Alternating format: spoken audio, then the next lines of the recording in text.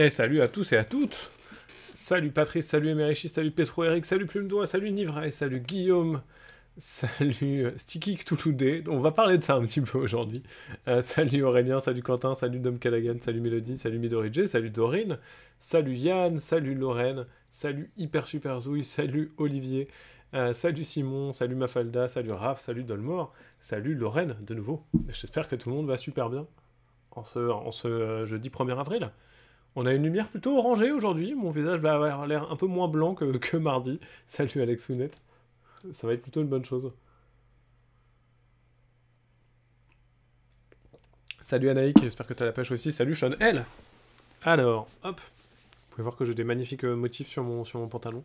Je ne fais pas ça que pour vous prouver que je porte un pantalon. Et salut Lou. Euh, mais on a pas mal de petites choses à discuter aujourd'hui. Alors, déjà, la première chose, c'est normalement, à 10h, euh, je serai rejoint par Bruno Catana. Alors je dis normalement parce que je lui ai envoyé un petit message ce matin euh, et j'ai pas eu de réponse pour l'instant, donc j'espère qu'il est toujours dispo. Et puis je dis normalement aussi parce que euh, je sais pas si j'aurai la chance d'avoir un PV Nova à chaque fois. Normalement je gère le son normalement et donc je sais comment faire pour que vous puissiez entendre Bruno. Mais on n'est pas à l'abri d'un petit souci technique que je ne saurais gérer.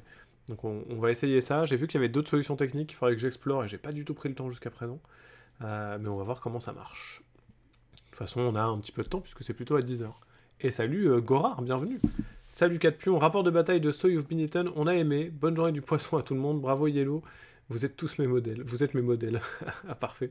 Magnifique chemise, merci euh, Dom Callaghan, je l'aime énormément celle-là. et salut Amélie, salut Edenis, salut Oumamira, salut Vivou Boss. qui est-ce que j'ai loupé? Bruno Catoulou, c'est parfait. salut M, il me fallait deux heures de train pour enfin pouvoir suivre le live. Et bah parfait, j'espère que c'est du, train chouette. Il est coincé en slip devant chez lui, peut-être que c'est ça. Salut Iswa. J'étais inquiet de ne pas voir de live à 8h, mais j'étais trop en avance. Oui, j'ai vu passer ton tweet, c'est parfait. Euh, ah, j'étais, réveillé à 8h justement pour essayer de préparer le son et le live pour que pour qu'on puisse avoir Bruno tout à l'heure. Euh, mais c'était un petit peu trop tôt quand même, je pense. Euh, je pourrais sûrement t'aider, sinon super euh, Lorraine, effectivement. Si jamais je suis complètement bloqué, peut-être que tu pourras me sortir de ça. Mais normalement, je vois... Alors attendez, on peut faire un petit test. On va faire un petit test à base de, de, YouTube. Ne bougez pas. Pour l'instant, je salue ceux que je n'ai pas salués, à savoir Quick euh, Quick Ben, pardon, euh, Pernick, Naok et Being on Title. Salut à vous tous. Et salut Luxky.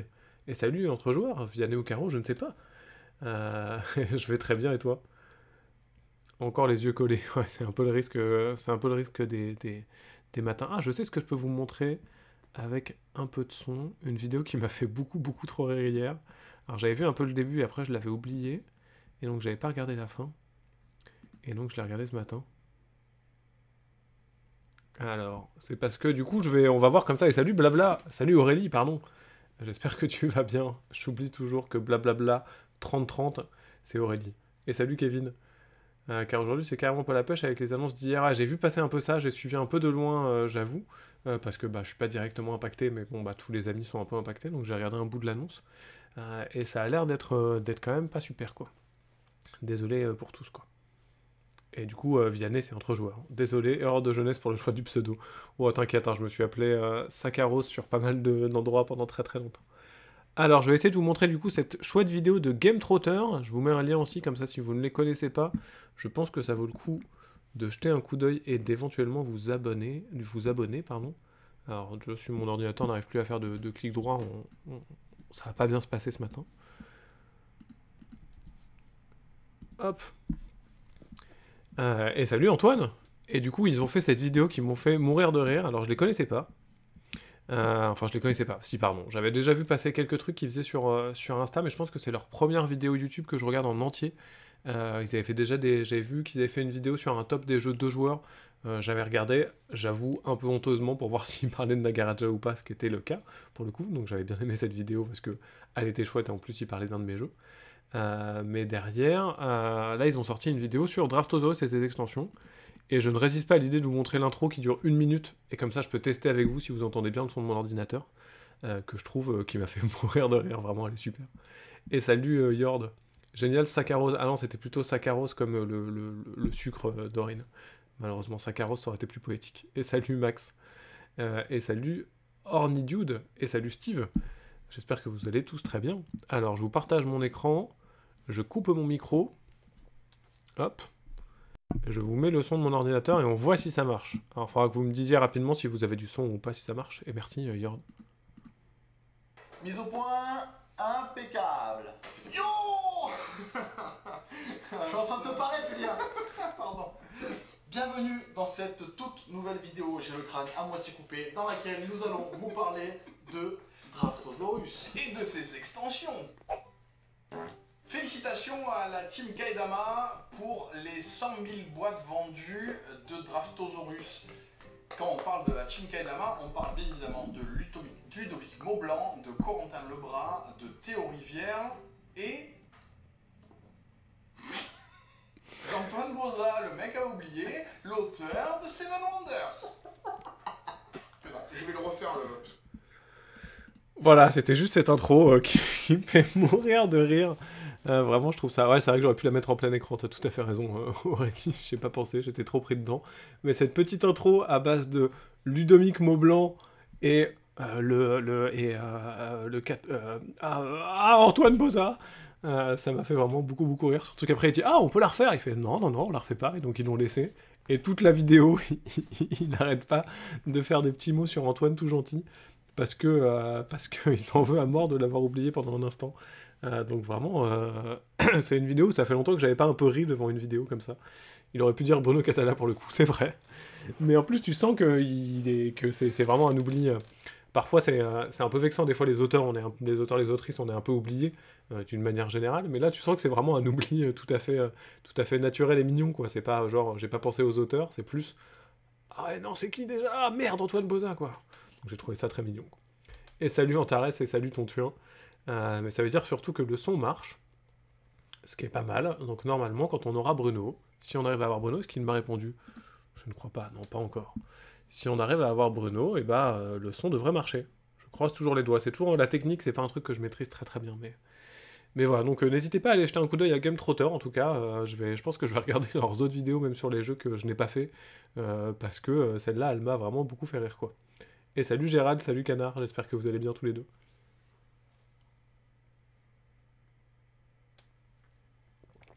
Avant que je réponde un peu à, vos questions sur euh, un mystère mystérieux que nous avons gardé mystérieux pendant longtemps, euh, je vous rappelle, pour ceux et celles motivés, que... euh, et salut Ragou Ouais, on, on fera un petit tour sur MyLudo Vivubos qui, qui, a, plutôt bien réussi son, son, son poisson d'avril.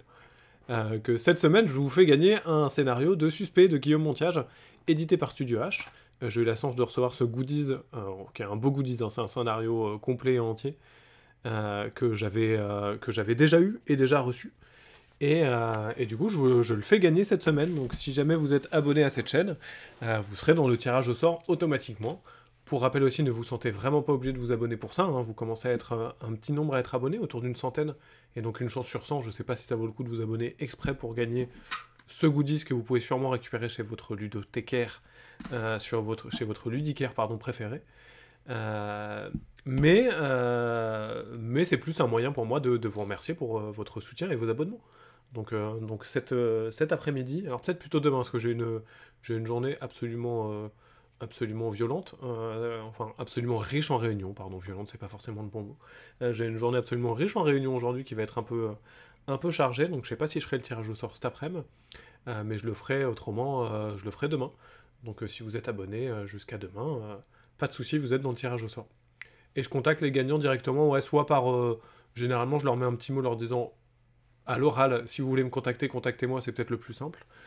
Soit autrement, je, les contacte soit par, Twitter, soit par, Twitch directement, par, par plein de choses différentes. Et salut Alex, j'espère que tu vas bien. Donc je vous propose un petit tour sur MyLudo en premier lieu. Alors on va pas rajouter de jeu pour l'instant. Euh, je pense qu'on va pas rajouter de jeu aujourd'hui, même pour être euh, honnête avec vous, euh, parce que ça va être, potentiellement long. Si on a Bruno à 10h, on va avoir plein de choses à dire. Donc je sais pas si on aura le temps de, rajouter, des, de rajouter des jeux sur MyLudo. Mais j'y suis quand même allé ce matin et je voulais vous montrer la page d'accueil parce que je l'ai trouvé plutôt réussi. Euh, My Monopoly, ouais, tout à fait. Salut Alex, salut le coffre à dessin et salut Yo. Au fait, le petit live sur SOS Dio mardi soir s'est bien passé. J'ai pas pu être là malheureusement. Pas de souci, Yord, c'était vraiment chouette. vraiment, c'est assez cool les lives de qui joue là. Ça fait, c'était le troisième que je faisais. À chaque fois, c'est un vrai plaisir. Claire qui anime ça, je trouve qu'elle fait, elle est très agréable, elle est très sympa. On papote généralement un peu avant et après, et c'est toujours très cool. Et, et du coup, du coup, ouais non, j'ai plutôt passé un bon moment. Puis expliquer les règles de SOS Dino, c'est pas le plus dur à expliquer. Puis j'ai quelques petites anecdotes un peu rigolotes, notamment sur le nom des dinosaures à raconter. Donc euh, c'était plutôt, euh, plutôt un chouette live. Alors je vous repartage mon écran puisque vous allez voir que magnifiquement, My Ludo est redevenu aujourd'hui My Monopoly. Voilà, avec les tendances qui sont le Monopoly Dijon, le Monopoly Édition des Vins, le Monopoly Le Havre, le Monopoly Sailor Moon, le Monopoly Disney, le Monopoly, le Monopoly Bruxelles, la Reine des Neiges 2, Ariège, mon premier Monopoly, Miss Monopoly, enfin Mademoiselle Monopoly, pardon, et Monopoly Bretagne. Euh, voilà, alors il se trouve que, et vraiment je suis très très peu client des poissons d'avril. Généralement, je confesse que ça me fait pas ultra rire quand euh, ils sont trop faciles, quoi. Là, genre, je sais pas combien de fois on va voir que quelqu'un a été racheté par Asmodée aujourd'hui, mais je pense un certain nombre. Et souvent, il y a un côté de, oh, les gars, ça marche pas, quoi. Il n'y a pas de une bonne blague, ça mérite un peu d'effort, quoi. On en reparle après. Euh, mais là, vraiment, euh, My Monopoly, avec, euh, avec les images, j'ai trouvé ça vraiment très bien. Ça m'a vraiment fait marrer. Le truc, est bien géré, bien fait, donc donc donc donc c'est assez drôle, quoi. c'est quoi cette histoire Yellow Sticky là? Eh ben on en parle, on en parle juste après, Alex. Euh, Charlie connaît bien le sujet aussi, tu vois qu'elle Claire pardon connaît bien le sujet aussi, tu vois qu'elle a joué au jeu qu'elle présente et qu'elle fait des recherches. Ouais, tout à fait Max, c'est vachement agréable sur ça aussi. Euh, tu sens qu'elle qu'elle connaît les jeux, que c'est une vraie passionnée, donc c'est un vrai plaisir. Qui joue vraiment, si vous avez l'occasion de regarder les lives en replay, euh, ça vaut vraiment le coup. Et salut Solinder. J'ai une anecdote d'ailleurs sur le Monopoly Bruxelles que vous connaissez peut-être sur la couverture de ce Monopoly, vous le voyez en petit, là je peux pas, je peux pas zoomer dessus, euh, on voit qu'il y a le mannequin piece, euh, mais qui porte un slip. C'est parce que bah, quand ils ont fait euh, le, la couverture, et que ça a dû être approuvé par les ayants droit du Monopoly, je sais pas exactement si c'est USA Opoly qui gère ça ou si c'est directement Hasbro, je pense que c'est directement Hasbro, ils ont dit « Oh là là là là On met pas un zizi comme ça sur la couverture !» C'est pas possible, hein. C'est un Monopoly, les gars, on met pas de zizi comme ça, c'est mort. C'est hors de question que le mannequin il soit à poil là, ça ne marche pas. Même si c'est une petite statue et qu'elle est historique, niet, on fait pas ça. Et du coup, ils l'ont habillé d'un slip. Voilà, c'est la petite anecdote euh, Monopoly Bruxelles, euh, qui est pas incroyable. Euh, je ne sais pas, j'existe des explications. Asmodée a racheté Calax aujourd'hui. Enfin un site pour gérer ma collection de Monopoly. Surprise, surprise, surpris pardon, de ne pas retrouver le mythique Monopoly de mon cul dans le top. Euh, tiens, j'ai vu un poisson dans ta chemise. Euh, mais non, t'inquiète pas, Dorine. C'est juste, moi j'aime pas trop les, euh, j'aime pas trop les, poissons d'avril. Mais après, il y a plein de gens qui adorent ça. Pour le coup, vraiment, moi, c'est juste, je suis je suis généralement pas très fan. Claire Dorine, c'est la responsable et la créatrice de Kijou, qui est une boîte de vente de jeux à domicile. Euh, un peu comme, euh, euh, comme Waka Waka, si tu connais, qui joue, fait de la même chose. Ils sont un petit peu moins connus, ils sont pas moins sympathiques. et Claire organise des lives une fois par régulièrement, une fois par semaine, une fois par mois, une fois par semaine, je pense, où elle, où, elle, invite des auteurs, des autrices ou des éditeurs pour présenter des jeux et en discuter les jeux qui sont dans leur commande et euh, dans leur commande. Pardon, j'ai lu le, message de Entrejour en même temps de Vianney, euh, entre, euh, qui sont dans leur catalogue. Et donc elle m'a invité, j'ai fait trois lives avec eux, avec elle du coup. un live sur SOS Dino, un live sur Draftosaurus et un live sur... Waouh Comment je peux oublier le troisième live? Merde Antoine Boza, c'est ça? J'ai fait SOS Dino, Draftosaurus et un troisième jeu que j'ai oublié parce que c'est comme ça. C'est le matin, c'est un peu la fatigue. Euh, le puritanisme américain est une vaste fumisterie, on est d'accord, c'est un peu, bizarre sur ça. Euh, et salut, tu fous rien, coucou les gens doux, salut à tous. Euh, salut Roi Evin, salut Gwenou. Perso, j'aime pas trop les poissons d'avril, un peu c'est bon, trop Isteville. Expression néerlandophone bruxelloise que je dois très mal prononcer. Ou Cookies and Games, tout à fait. Mais si j'ai bien compris, Cookies and Games, c'est que des jeux à Asmodée, Ragout, je crois. Ah super, merci, j'adore prendre note des femmes du jeu et qui ont dit elle connaît bien son sujet, elle bosse bien, etc. Merci, chouette, je vais la suivre. Ouais, vraiment très sympa, euh, Claire. Euh, une, je l'ai rencontré dans ce cadre-là. Et j'avoue que ça serait quand même. J'avoue que ça serait. Je fais, ah, j'avoue que je ferais ça quand j'ouvrirais ma boutique. C'est pas Nagaraja? Non, c'était pas Nagaraja. je vais regarder, je suis nul. Comment je peux réussir à oublier ça comme ça hein? C'est le matin, on se réveille tranquillement. C'est une grosse journée. C'est pour ça, on peut oublier des choses. Euh, c'est ça, c'est une structure d'Asmodée, euh, Cookies and Games, ok. Euh, mais oui, c'était Flying Goblin, évidemment, le dernier que j'ai présenté. Comment oublier Flying Goblin pourtant? Et salut dans les volcans. Coucou, je reste pas longtemps aujourd'hui, grosse journée pleine de stress pour moi, mais je veux avoir la fin mot de cette histoire de Sticky Cthulhu. Et salut de Dupont, et salut Pénélope. Allez, je vous révèle un peu l'histoire de, Donc si vous voulez rester un peu dans le mystère, si vous avez un vœu... Quentin, je parlais de Claire de qui. Euh, si vous voulez rester un peu dans le mystère, si vous voulez rester un peu dans la. Si vous voulez pas revenir tout de suite dans la confidence, si vous laissez planer euh, ce, ce, Sticky Cthulhu pour, euh, pour, la journée, vous pouvez tranquillement quitter le live. Je pense qu'on va en parler pendant une petite dizaine de minutes. Et merci, Imouché, pardon. C'est le, trouble. Merci pour, ce, raid. Bienvenue à tous et merci Super Gredin pour, pour le follow. Euh, j'espère que vous allez bien, tous les raiders. Que, fais-tu Merci, Pénélope. Qu'est-ce que tu faisais, Imouché? De quoi tu parlais? À quoi tu jouais? Et est-ce que c'était bien? Est-ce que ça s'est bien passé? Installez-vous, prenez un café, on parle de jeux de société ici tranquillement, si c'est la première fois que vous venez. et puis on, papote, on papote tranquillement de, création de jeux, de comment on crée des jeux, de comment ça marche. Et salut Skull Brawl Magic FR On arrive en entend, vous pouvez quitter le live. Effectivement, c'était, c'était pas le meilleur timing. Flying Goblin que je n'ai jamais croisé en boutique pour mon plus grand malheur. c'est étonnant, un ragout, parce que normalement il est, il est disponible. Il y a eu une petite rupture, mais il est revenu après. Euh, et, Yellow le distribue plutôt bien, le jeu fonctionne plutôt pas mal, donc normalement il est disponible. Et donc je vous révèle enfin la conclusion d'une histoire longue, mystérieuse. Ah, on parlait de Magic the Gathering, trop bien. Euh, et bah trop cool, je me suis remis euh, il y a pas très très longtemps à Magic, moi sur, pour le coup, que sur Magic Arena, je joue pas en, physique, j'ai joué beaucoup à une époque, j'ai été, été arbitre même. Et, euh, euh, et, je m'y suis remis euh, il y a quelques semaines, il y a un mois je pense. J'ai dû avoir mes premiers, mes premiers cadeaux de fin de saison, là, un mois ou deux. vous avez vu, je fais, je fais durer le suspense. Hein. Et, et j'ai retrouvé un peu le, plaisir de jouer à Magic, même si c'est compliqué parce que ça, prend, du temps.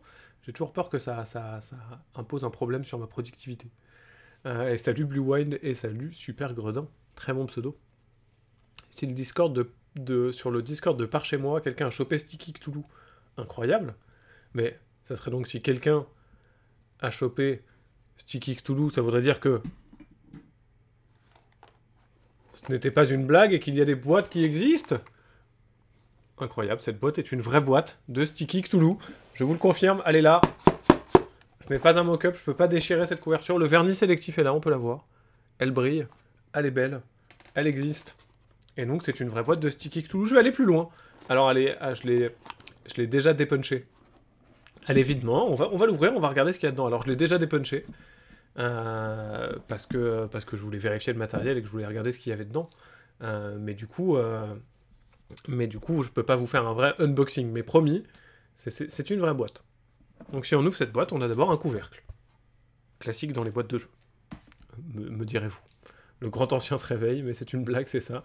Elle est vide, elle est à gagner. Non, elle n'est pas à gagner, Lorraine, pour le coup, mais peut-être qu'on pourra faire un petit partenariat à l'occasion avec, avec Yellow pour, pour faire gagner cette, cette, boîte, cette boîte. pardon. Tu es parti de Poitiers en quelle année déjà? Oh, Chanel, quelle grosse question. Euh, hmm. Je suis parti de Poitiers, je pense, il y a 7 ans.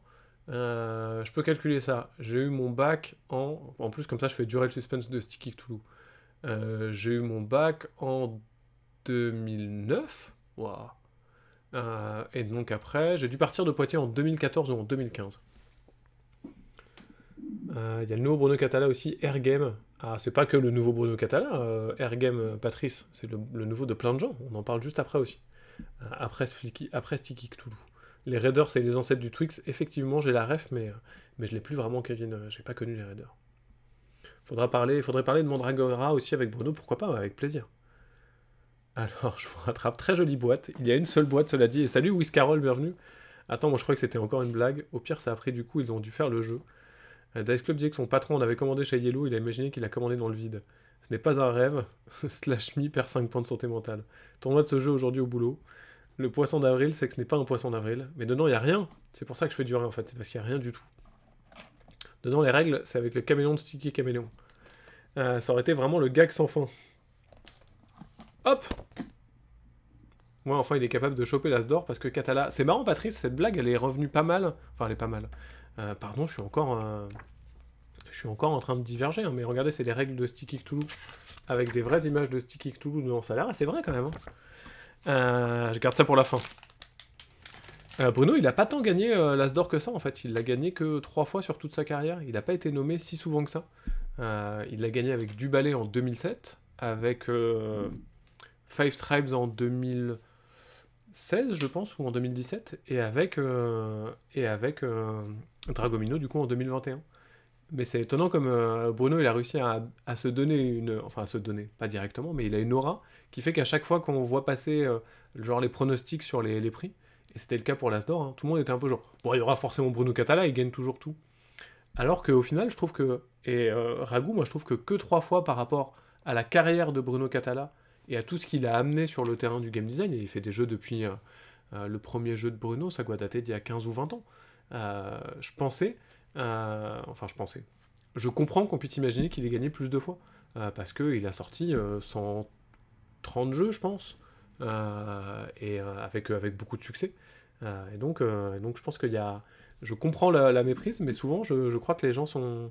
Effectivement, ont des trucs genre un peu, un peu faux souvenirs à la Mandela, effectivement.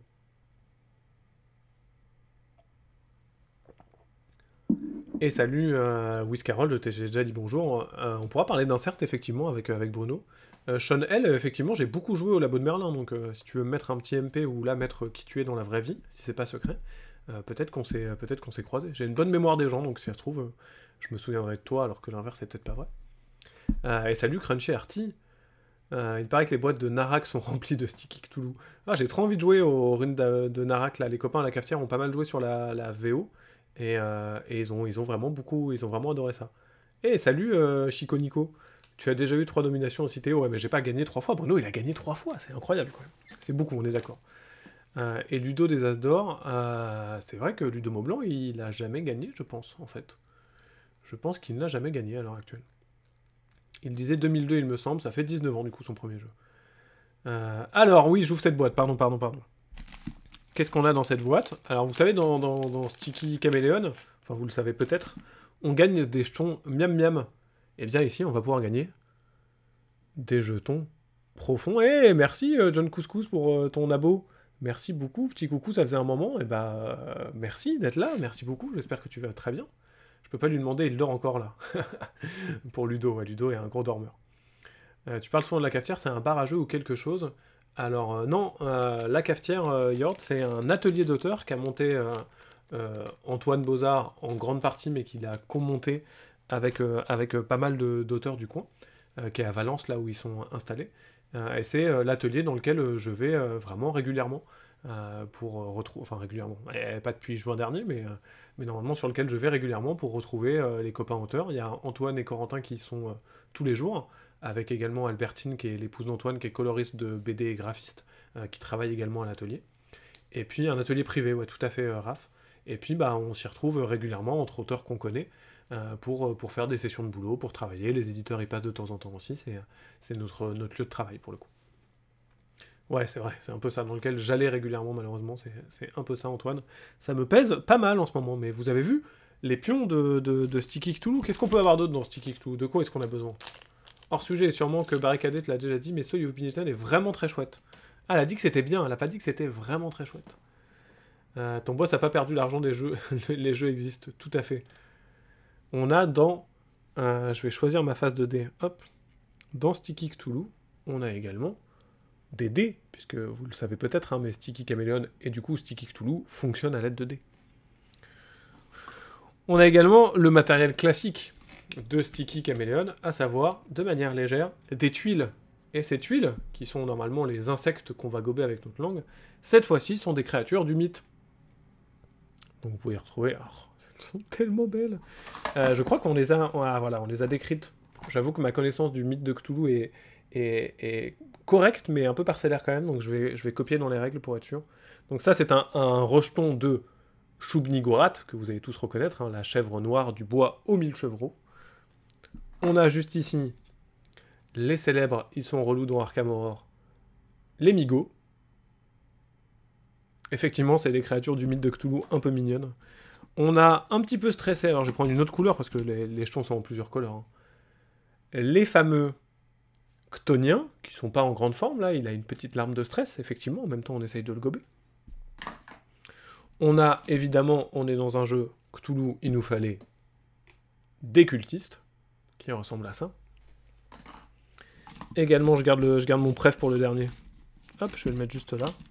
Des maigres bêtes de la nuit, qui ressemblent à ça. Et enfin, il nous fallait au moins un chat d'Ultar. Et donc le chat d'Ultar est absolument trop mignon, puisqu'il ressemble à ça. Est-ce que ma caméra fait le point À peu près? Derrière, vous le savez peut-être, je présume que vous connaissez un peu les règles de Sticky Chameleon, mais je vous les réexpliquerai un petit peu après. Euh, au besoin. Euh, dans Sticky Chameleon, on peut attraper malencontreusement avec nos, langues d'horribles euh, guêpes. Quand on est bienvenu, Sipic, installe-toi. Quand on attrape des, des guêpes, c'est jamais très cool. ça nous empêche de gagner des points. Comme le jeu, et je vous explique encore une fois ces règles un peu plus en détail, juste après je regarde si Bruno m'a répondu. Non, pas encore. Peut-être qu'il dort, mais Bruno ne dort jamais, que se passe-t-il? Étonnant. Euh, normalement, on peut récupérer des... On peut se faire attraper par des guêpes. Les guêpes, elles nous, elles nous piquent la langue, et puis bah, quand on se pique la langue, on gagne pas de points. Et salut euh, Christelle il n'est pas, noir en hommage à Monsieur Z. Non, dans, Sticky, les, chaque, chaque insecte et donc chaque, personnage là sont dans des couleurs euh, différentes. Et on n'a pas noir sur le dé pour le coup. donc les guêpes ont été remplacés par des investigateurs. Donc au lieu d'avoir des guêpes, on a ces grands investigateurs. Ils sont un peu plus durs, hein. ils sont un peu plus méchants. Euh, qui sont assez variés, mais qui vont être les choses qui vont venir nous embêter. Je vous les montre tous parce qu'ils sont vraiment trop beaux. Hein. Je vous l'ai pas dit, mais c'est l'excellent Rémi Tornier qui a illustré le jeu de nouveau. Euh, et il est, euh, il est vraiment très très fort, Rémi, hein, je trouve. C'est un, très très bon illustrateur. Qu'on voit peut-être pas assez souvent, j'aimerais bien le voir sur encore plus de jeux. Quoi. Et donc le petit Lovecraft essentiel. Euh, Est-ce que... Ouais, je vous garde l'élément central pour la fin. Je vous... Ah non, allez, je vous... Je sais pas comment je vous montre ça. Donc ces tuiles-là, il y en a plein hein, dans, Sticky Chameleon comme dans Sticky Cthulhu, et vous pouvez voir que cet insert est joliment illustré également. Euh, il y, a plein de, y a plein de tuiles. Euh, est-ce que je vous explique...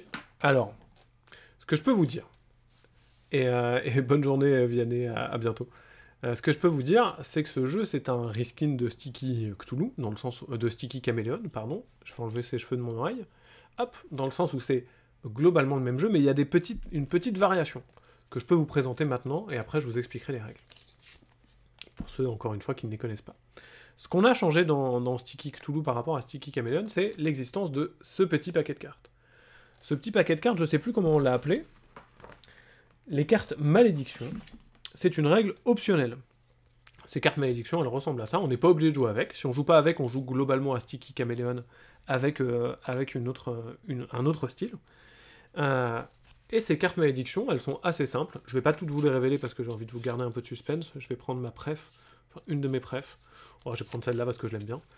Euh, quand on gagne, un pion, un point, à ce moment-là, on va également piocher hop, une petite carte malédiction qui va nous donner un gage un peu potache, un peu débilos, qui va nous forcer à faire quelque chose jusqu'à temps qu'on gagne un nouveau point, et à ce moment-là, on défaussera cette carte malédiction pour en prendre une nouvelle, et, ainsi de suite. Si on ne respecte pas notre malédiction, à ce moment-là, on perd un point, et c'est pas très cool. Une malédiction que j'aime beaucoup parce que j'adore quand il y a ce genre d'effet dans un jeu. À partir de maintenant, je dois chanter une chanson. Je vous en montre une autre. À partir de maintenant, j'utilise deux tentacules pour attraper les créatures au lieu d'en utiliser une seule. Est-ce que l'année prochaine, on aura le droit à un sticky Asmodée dans lequel Asmodée doit capturer des éditeurs de jeux à l'aide de billets collants? Euh, Écoute, euh, ça dépend si euh, Yellow se fait racheter par Asmodée d'ici là. Je ne pense pas, hein, mais, sait-on jamais. sticky foufoufou, ça peut être pas mal. Non, mais moi je suis chaud pour faire tous les spin-offs. Il me reste un élément important à vous montrer. Puisque vous le savez, et salut Ludo de la Ludo. Et oui, c'est vrai, tout à fait. Là, c'est la grande révélation, mais c'est vrai. Smash Up Sticky, Mash Up Sticky, Sticky et fou fou fou. Quand je capture un Cthulhu, je dis choucroute. Euh, ça, ça pourrait marcher aussi. Il me reste un dernier élément à vous montrer. Vous le savez, dans Sticky Camelon, on a des langues collantes. Ces langues collantes, elles servent à nous attraper, à attraper les insectes. C'est l'élément central du jeu. C'est ce qui fait toute sa richesse, ce qui fait tout son, son amusement. Et salut, l'ami Maxime Rambourg.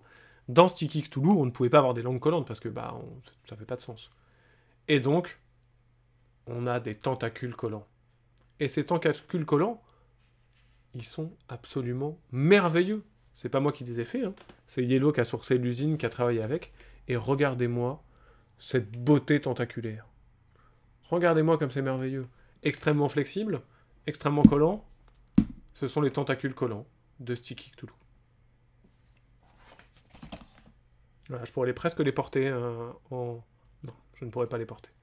Mais voilà, c'est les tentacules. Vraiment, c'était une bonne surprise parce que je, pense que Florent, qui a géré le projet, euh, m'avait montré, euh, je sais plus s'il m'avait montré un- une image ou pas du moment de production. Euh, extrêmement lavable, ouais, tout à fait, Kevin, c'est important parce qu'autrement le, jeu aurait un côté un peu, un peu destructible qu'on n'a pas envie d'avoir. Mais pensez bien quand vous jouez à Sticky Chameleon, comme quand vous jouez à Sticky Cthulhu, de bien nettoyer vos, vos appendices collants à la fin de la partie. C'est assez important. Euh, on les passe juste sous l'eau, on les fait sécher, on les range dans la boîte et ça colle pratiquement pour toujours. J'ai des boîtes de Sticky Caméléon pardon, avec lesquelles j'ai fait beaucoup beaucoup de parties et elles sont encore vraiment euh, parfaitement en bon état, mais faut penser à les nettoyer. Euh, mais, euh, mais du coup, elles sont. Je sais plus si Florent, c'est ça que je disais, pardon, euh, me les avait montrées en avance. Euh, mais si c'est le cas, je les avais un peu oubliées. Et salut, c'est Cotine, bienvenue. Euh, mais le moment où j'ai ouvert ma boîte et que j'ai découvert ces tentacules, j'avoue que j'étais vraiment ravi. Euh, je peux vous expliquer du coup un peu les règles de Sticky Cthulhu et de Sticky Chameleon pour ceux qui ne les connaissent pas. Et salut euh, Thomas. Après, je vous lirai le petit texte d'ambiance. Oh, pardon, je fais tomber les crayons. qui a été rédigé par, par Yellow et que je trouve vraiment délicieux. Et ils ont vraiment fait un, un- très très bon boulot en termes, en d'édition. C'était un, un plaisir. Après, je vous raconterai un peu l'histoire. Et je vois que Bruno m'a répondu, donc euh, je pense que après je regarderai sa réponse pour voir comment ça se passe. Euh, Sticky Cthulhu, c'est un jeu d'observation. euh, je viens de penser à une présentation un peu avec la poussière. Oh, je crois qu'on l'a pas fait tourner à, Paris Ludique, Raph, ça, ça aurait pas été possible effectivement. Pour vous expliquer la mécanique, Sticky Cthulhu, c'est un jeu d'observation rapidité qui repose sur un principe assez simple, mais sur ce matériel un peu fou, qui est on a donc toutes ces créatures dans plein de couleurs qui sont étalées sur la table. Quand c'est à moi de jouer, je prends les 2 dés que je lance, ça va me donner une combinaison couleur et forme. Donc là par exemple j'ai lancé et ça me dit il faut que j'attrape un truc vert qui est un rejeton de Shubnigorat. Et à ce moment-là, tous en même temps et le plus vite possible, je vais sortir ce jeton de Shubnigorat. Et ah C'est dur sur sa main, mais on lance son tentacule pour essayer de l'attraper. Euh, la bonne nouvelle, c'est que ça colle, donc euh, dès que j'ai réussi à l'attraper sur mon tentacule, hop, il est collé comme ça. À ce moment-là, peut y avoir encore bagarre, c'est-à-dire que si je frime un peu, genre je l'ai attrapé, je l'ai attrapé, et que quelqu'un vient avec son tentacule et tac, le chope, il peut me le voler. Euh, moi, je peux à ce moment-là utiliser ma main, poser le jeton sur la table, à ce moment-là, c'est validé, et je gagne un point. Le premier a, je ne sais plus combien de points, parce que on joue jamais avec le bon nombre, 5 je crois d'après les règles, 5 jetons profonds. Euh, la partie s'arrête et ce joueur ou cette joueuse a gagné. Euh, effectivement, les, les baffes involontaires de tentacules, ça arrive régulièrement, euh, Quentin, pour le coup. Et c'est tout, on reprend le jeton que j'avais gagné, je le remets au centre. C'est moi qui lance les dés parce que je viens de gagner un point et que c'est plutôt un désavantage. Et c'est parti, je relance le dé et ça se relance. Salut au tatou, c'est vrai que je peux faire un petit... Je peux essayer de vous agresser la webcam avec le tentacule. Ah, je vais... Vous vous souvenez quand j'ai nettoyé mon ordinateur il n'y a pas si longtemps que ça? C'était une très mauvaise idée ce que je viens de faire, j'ai mis des traces dégueulasses. Euh, Et donc la dernière petite règle que je vous ai pas racontée, pardon, euh, c'est on a donc des guêpes dans Sticky, dans Chameleon et des investigateurs dans Sticky Cthulhu. Si jamais malencontreusement j'attrape un investigateur en plus de ce que j'avais attrapé, donc là normalement je dois marquer un point parce que j'ai bien eu mon jeton de Shubni Gorat, mais j'ai aussi chopé un investigateur, à ce moment-là, je ne gagne pas le point de victoire que j'aurais pu gagner. Je perds pas de points, euh, mais je gagne pas le point que j'aurais pu gagner. Euh, ça se joue jusqu'à 6, euh, il se voit. Ah oui, Théo, agresse-nous de ta tentacule la webcam. Ce, ce- live commence à partir vraiment trop en tentacule.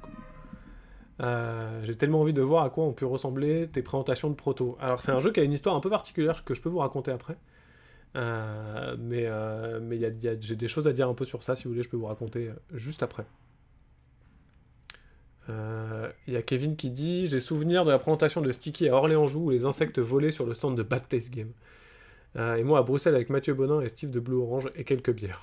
Tout à fait. Euh, je retourne bosser à cet après-midi pour votre rendez-vous Théo. Et bah avec grand plaisir euh, Aurélie, j'ai hâte de, faire notre, de faire notre rendez-vous. Ah peut-être que tu pourras me dire s'il y a des choses que je pourrais montrer la prochaine fois en live.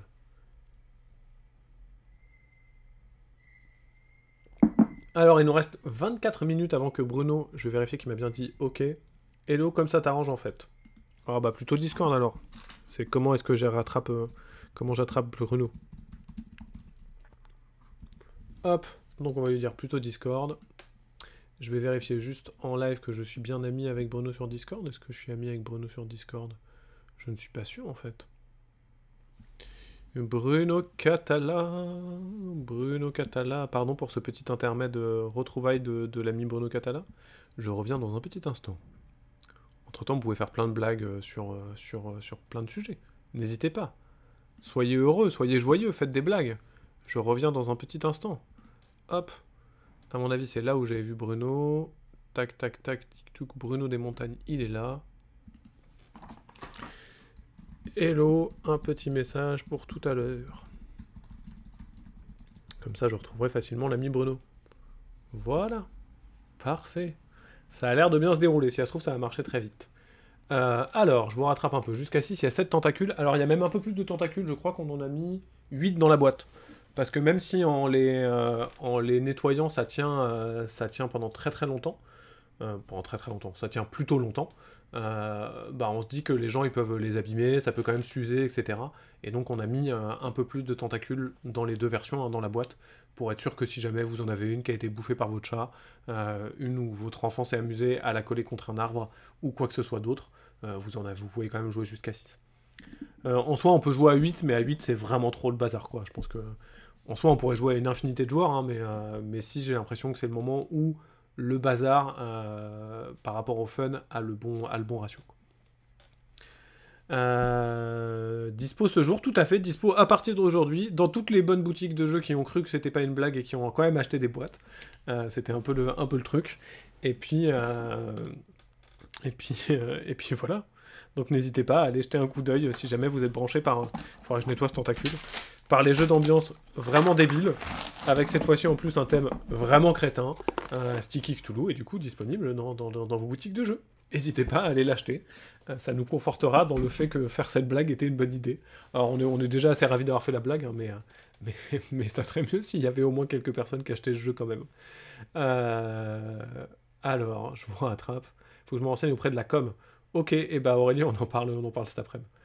Euh, et salut, back to the meeple. Je vois que vous, faites, avez fait des blagues, c'est bien, merci.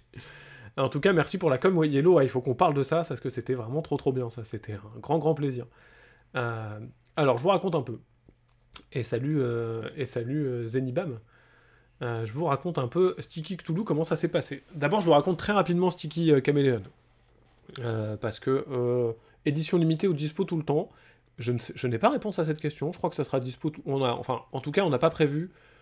Comment bien dire ça? Je pense que si le tirage s'écoule, je pense qu'on ressortira des boîtes. On n'a pas une volonté de se dire, allez, euh, on, en fait euh, X mille et on s'arrêtera là.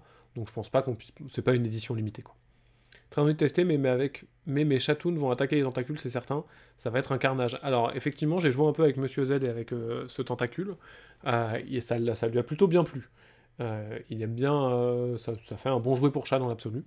Après, quand on fait une vraie partie comme ça, crie un peu, on fait un peu de bruit, c'est un jeu quand même où, on se marre pas mal, généralement il a plutôt tendance à, s'écarter.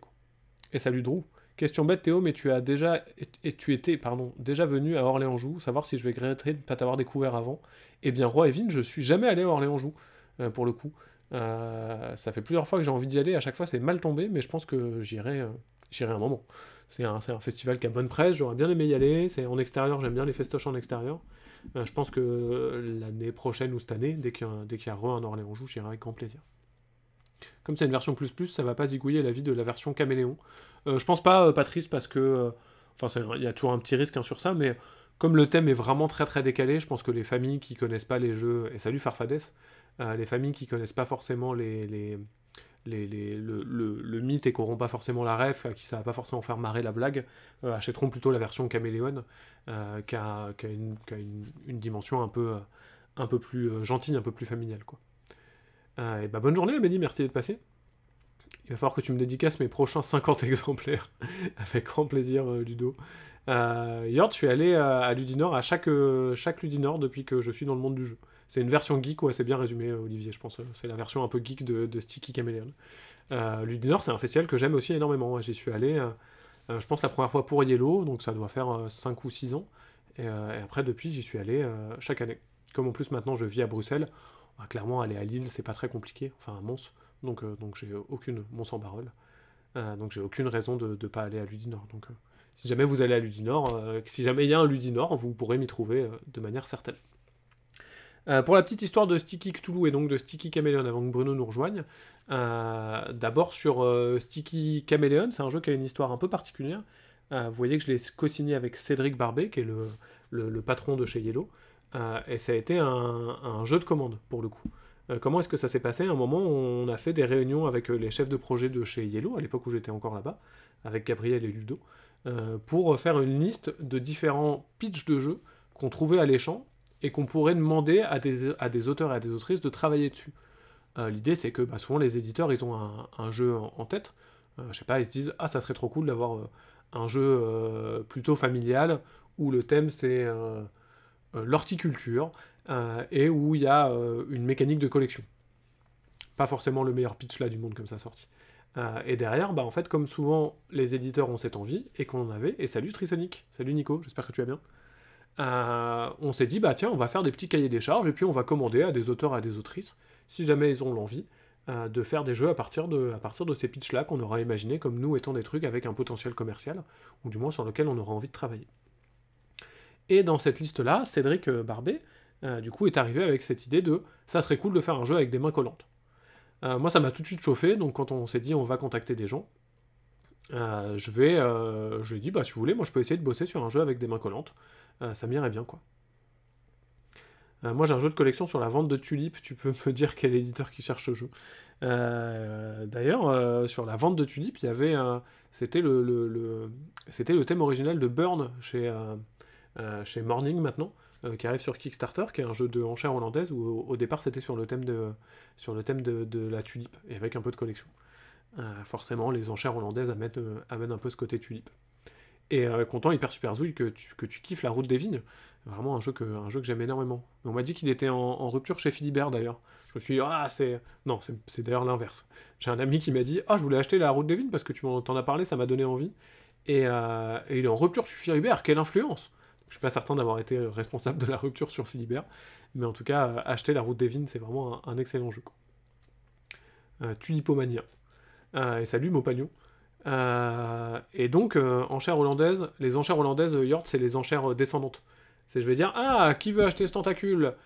Qui l'achète pour 25 24 23 Et vraiment, quelqu'un va dire, stop, moi, je l'achète. Et donc c'est un autre type d'enchère, contrairement aux enchères qu'on a plus l'habitude à la crier, où c'est les enchères où on est genre Qui achète ce tentacule? Moi je mets 1 Moi je mets 3 Moi je mets 8 Et au fur et à mesure ça augmente. Là c'est plutôt des enchères à partir d'un prix plus élevé. Euh, qui descendent, qui descendent, et qui est une mécanique qui est assez, euh, assez intéressante dans le jeu parce qu'il y a un côté un peu stop ou encore, euh, où t'es un peu genre allez, bah, j'y vais, c'est pas grave. Et des fois tu te fais un peu avoir. Et salut, j'aime pas perdre. Et non, Dolmore Flying Goblin, il n'est pas, il pas issu d'une commande, c'est une création vraiment ex nihilo, enfin ex, ex cerveau. Et donc, donc Cédric Barbet arrive avec cette idée de il faut faire un jeu avec les mains collantes, avec des mains collantes. Je dis Banco, ça me chauffe bien, je vais essayer de bosser dessus. Et puis derrière, j'ai un peu galéré. Euh, ça a été un développement plus complexe que ce que j'aurais imaginé parce que j'ai essayé plein de mécaniques plus ou moins compliquées et ça ne marchait pas. Euh, et au final, euh, je suis resté sur cette mécanique forme-couleur assez simple, avec le côté guêpe pour éviter que ça soit j'attrape tout ce qui traîne sur la table parce que comme ça, je récupère, je récupère forcément le bon jeton. Et puis, j'ai amené le thème des caméléons.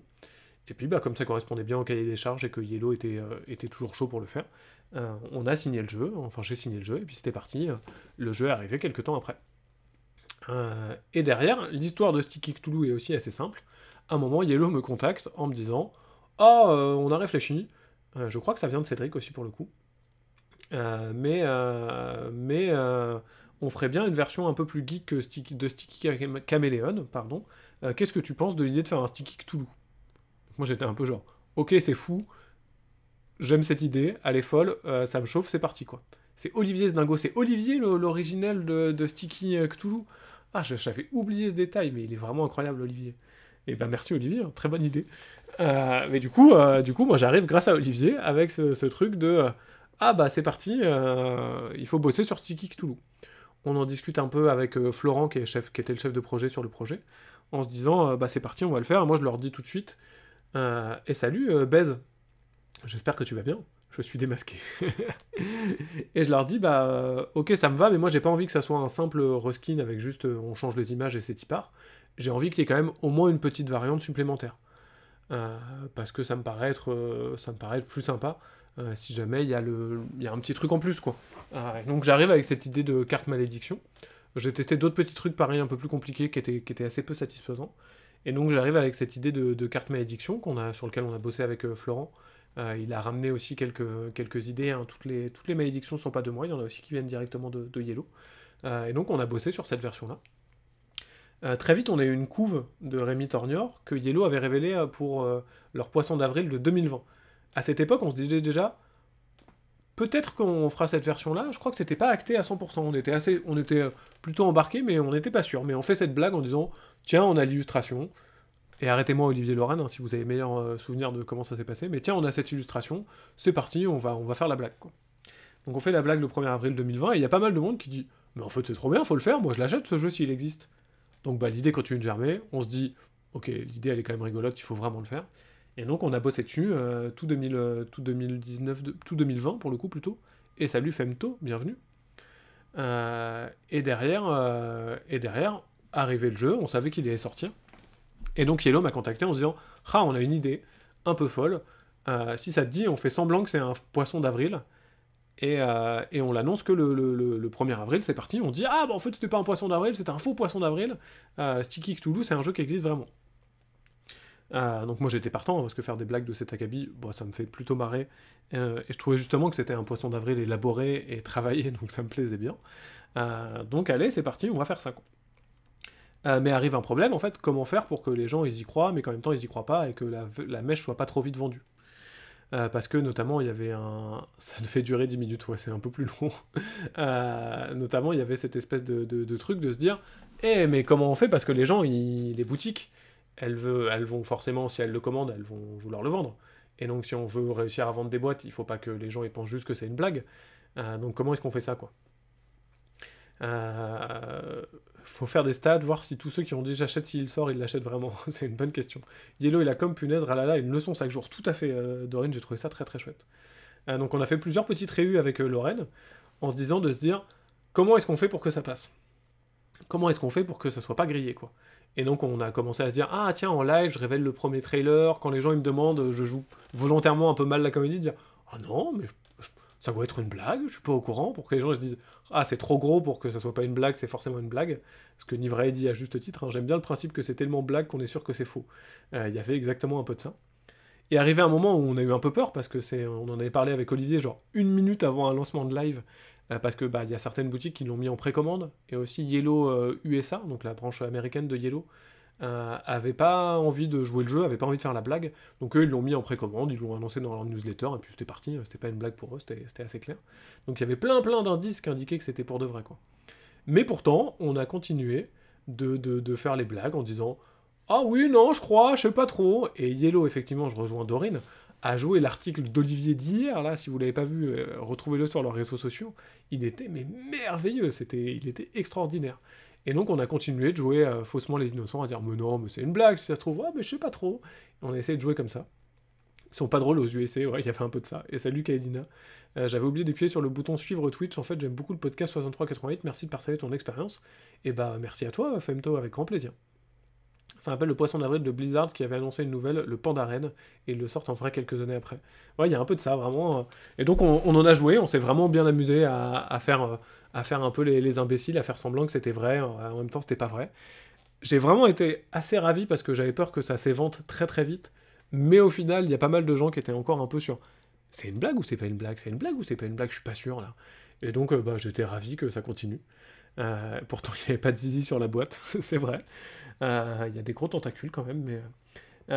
et donc on a, on a continué de, faire le truc. J'ai vu que ça a continué de semer le doute. Il y a pas mal de gens qui m'écrivaient en mode Mais c'est pour de vrai ou pas? J'arrive toujours pas à savoir, c'est chiant quoi. Et donc c'était rigolo. Et donc aujourd'hui, et ce n'est pas une blague, j'insiste maintenant, je vous confirme que Sticky Cthulhu est un vrai jeu que vous pouvez acheter dans toutes vos boutiques ludiques préférées. Euh, n'hésitez pas à aller l'acheter si jamais vous avez envie. Et, euh, voilà. Wow, ces annonces sont très très forts. Merci euh, Gotor pour ce cadeau d'abonnement à ah Asobu Jeu Japon. Sticky on Tie.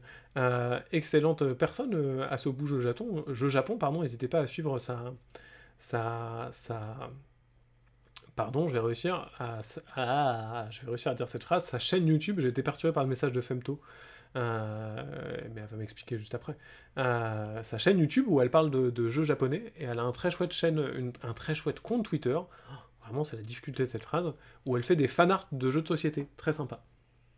Bon, on a vu la boîte, vu les cartes, vu les tentacules, j'avoue, j'hésite encore. Euh, vraiment, c'est une vraie boîte, hein. je confirme.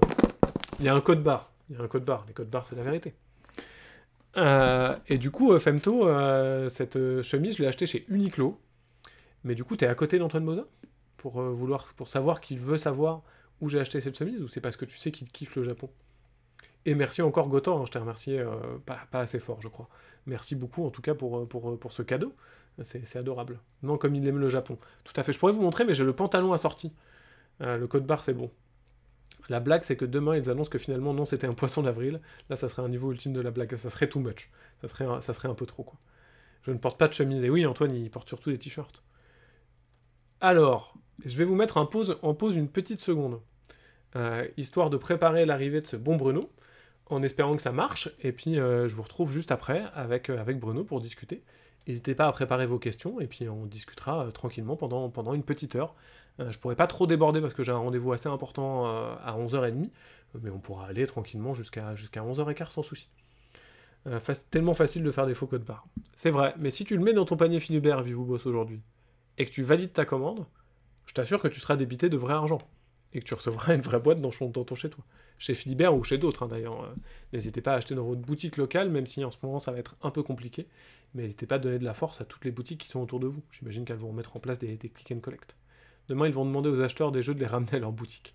On va forcément voir des versions fan-made de Sticky Hentai. Euh, je sais pas, euh, je suis pas sûr et je suis pas certain de vouloir faire ça. Alors, je vous mets en attente une petite seconde, j'appelle ce bon Bruno, et puis je vous retrouve juste après.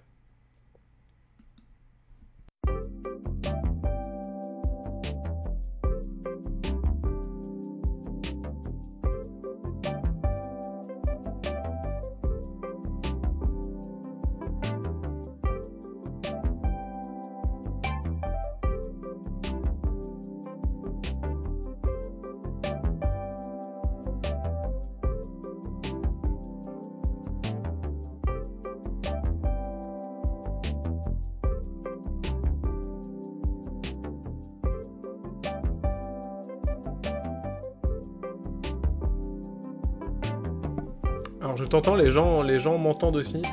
Mais, euh, mais toi, je ne t'entends pas, Bruno. J'ai l'impression que t'as pas de micro.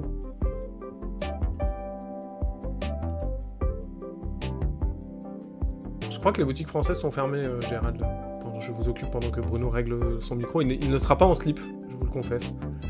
Euh, on n'entend pas Bruno non plus. Non, c'est normal que vous, vous l'entendiez pas, mais moi, je devrais l'entendre normalement. C'est ça qui est bizarre. Alors attends, Bruno, je vais regarder si ça vient pas de chez moi, pour le coup.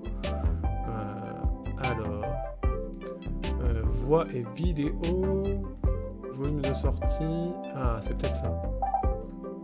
Parle un peu Bruno pour voir. Ah non, je t'entends toujours pas, c'est bizarre. Là, normalement, ça devrait être bon. Alors, je peux changer un peu ça. Voix et vidéo, périphérique de sortie. Euh, si je fais ça, on peut essayer comme ça. Hop. Reparle-moi un peu.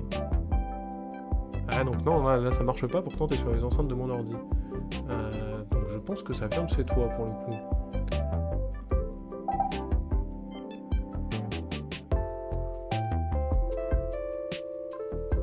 Vois pendant ce temps-là qu'il y, a magnifiquement Asterios Polype, excellente BD, merci pour, pour ton follow, et je dis Euh, alors, Bruno, on peut essayer de passer par Skype autrement, peut-être que ça marchera mieux. Bruno est en pleine exploration des paramètres de, de, Discord. Ne vous inquiétez pas, de toute façon, on a, on a un peu de temps, hein. je vous avais dit 10h, il est 9h56, tout va bien. Les boutiques peuvent pas accueillir de clients à l'intérieur, mais elles peuvent vendre sur le pas de la porte. Oh là là, c'est tellement bizarre, je comprends pas tout pour le coup.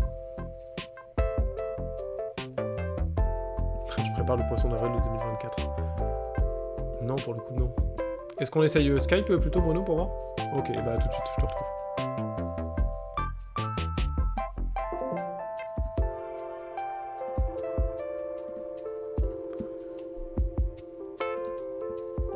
Je vais vous remettre un peu en attente. Je vais essayer d'appeler Bruno sur Skype. Le poisson d'arrêt, de Trick Track est sympa. Faut que j'aille voir ça, je l'ai pas vu encore.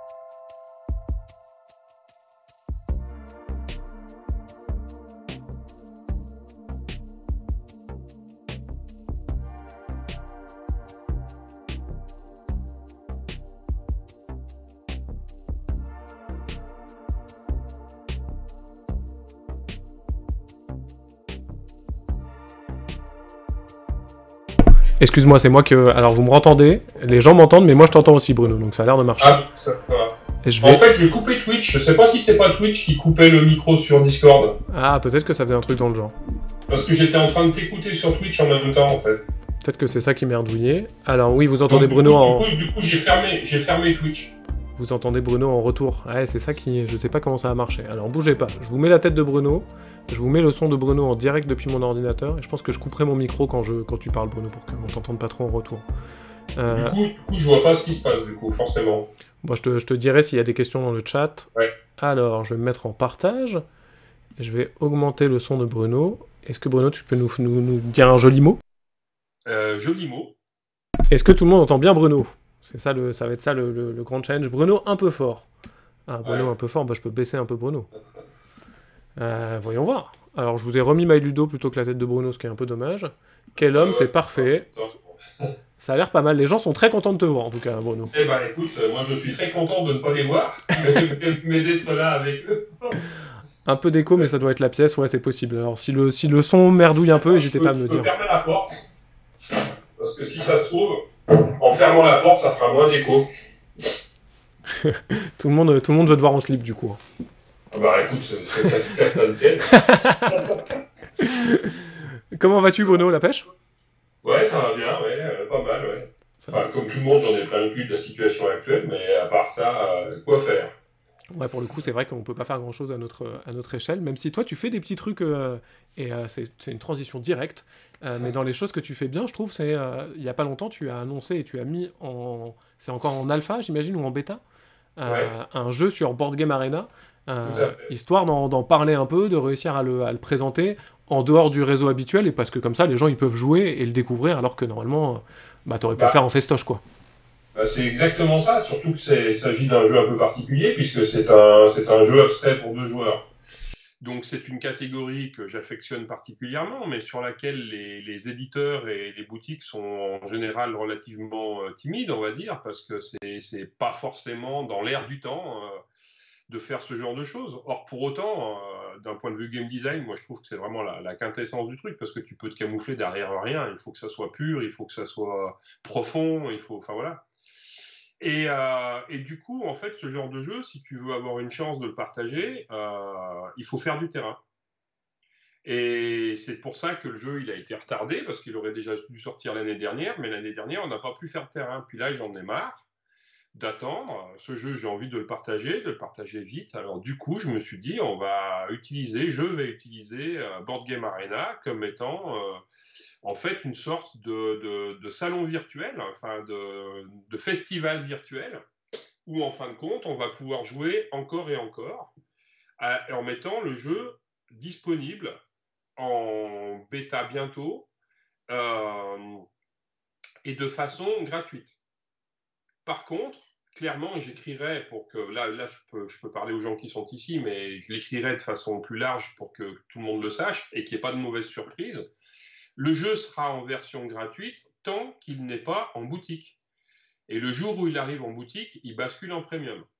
C'est-à-dire que c'est l'équivalent d'aller faire des parties de démo en festival, etc. Puis après, si tu veux y jouer, ben, soit tu es abonné, tu peux lancer les parties, soit tu n'es pas abonné, tu peux rejoindre une partie faite, enfin lancée par un abonné. C'est un peu ça le modèle que j'ai envie d'expérimenter. Ouais, ça me paraît vraiment être une bonne idée hein, quand tu m'en as parlé euh, sur le. Parce qu'on racontera, on racontera peut-être un peu le, le, le, le graphisme d'Insert, qui est un truc un peu rigolo euh, lié à cette chaîne. On en parle juste après. Euh, ah et là, tout le monde, tout le monde dans le chat est vraiment trouve que l'idée est très très bonne et il trouve ça vraiment très très chouette. Euh, et il y a une question qui revient, c'est euh, qui a fait le développement? Est-ce que c'est toi qui as développé la version Board Game Arena? Est-ce que tu sais faire? Est-ce que c'est quelqu'un d'autre? Comment est-ce que ça s'est passé? Non, moi je, moi, je, sais pas faire. Enfin, je pourrais m'y remettre parce que, parce que par le passé, euh, l'informatique c'était pas quelque chose qui m'effrayait particulièrement, mais j'ai pas du tout envie d'investir du temps là-dedans. Non, non, c'est Board Game Arena qui a, qui a, fait le développement en fait. Et c'est même directement, pour le coup, Grégory Isabelli, c'est-à-dire le, le, le boss en fait.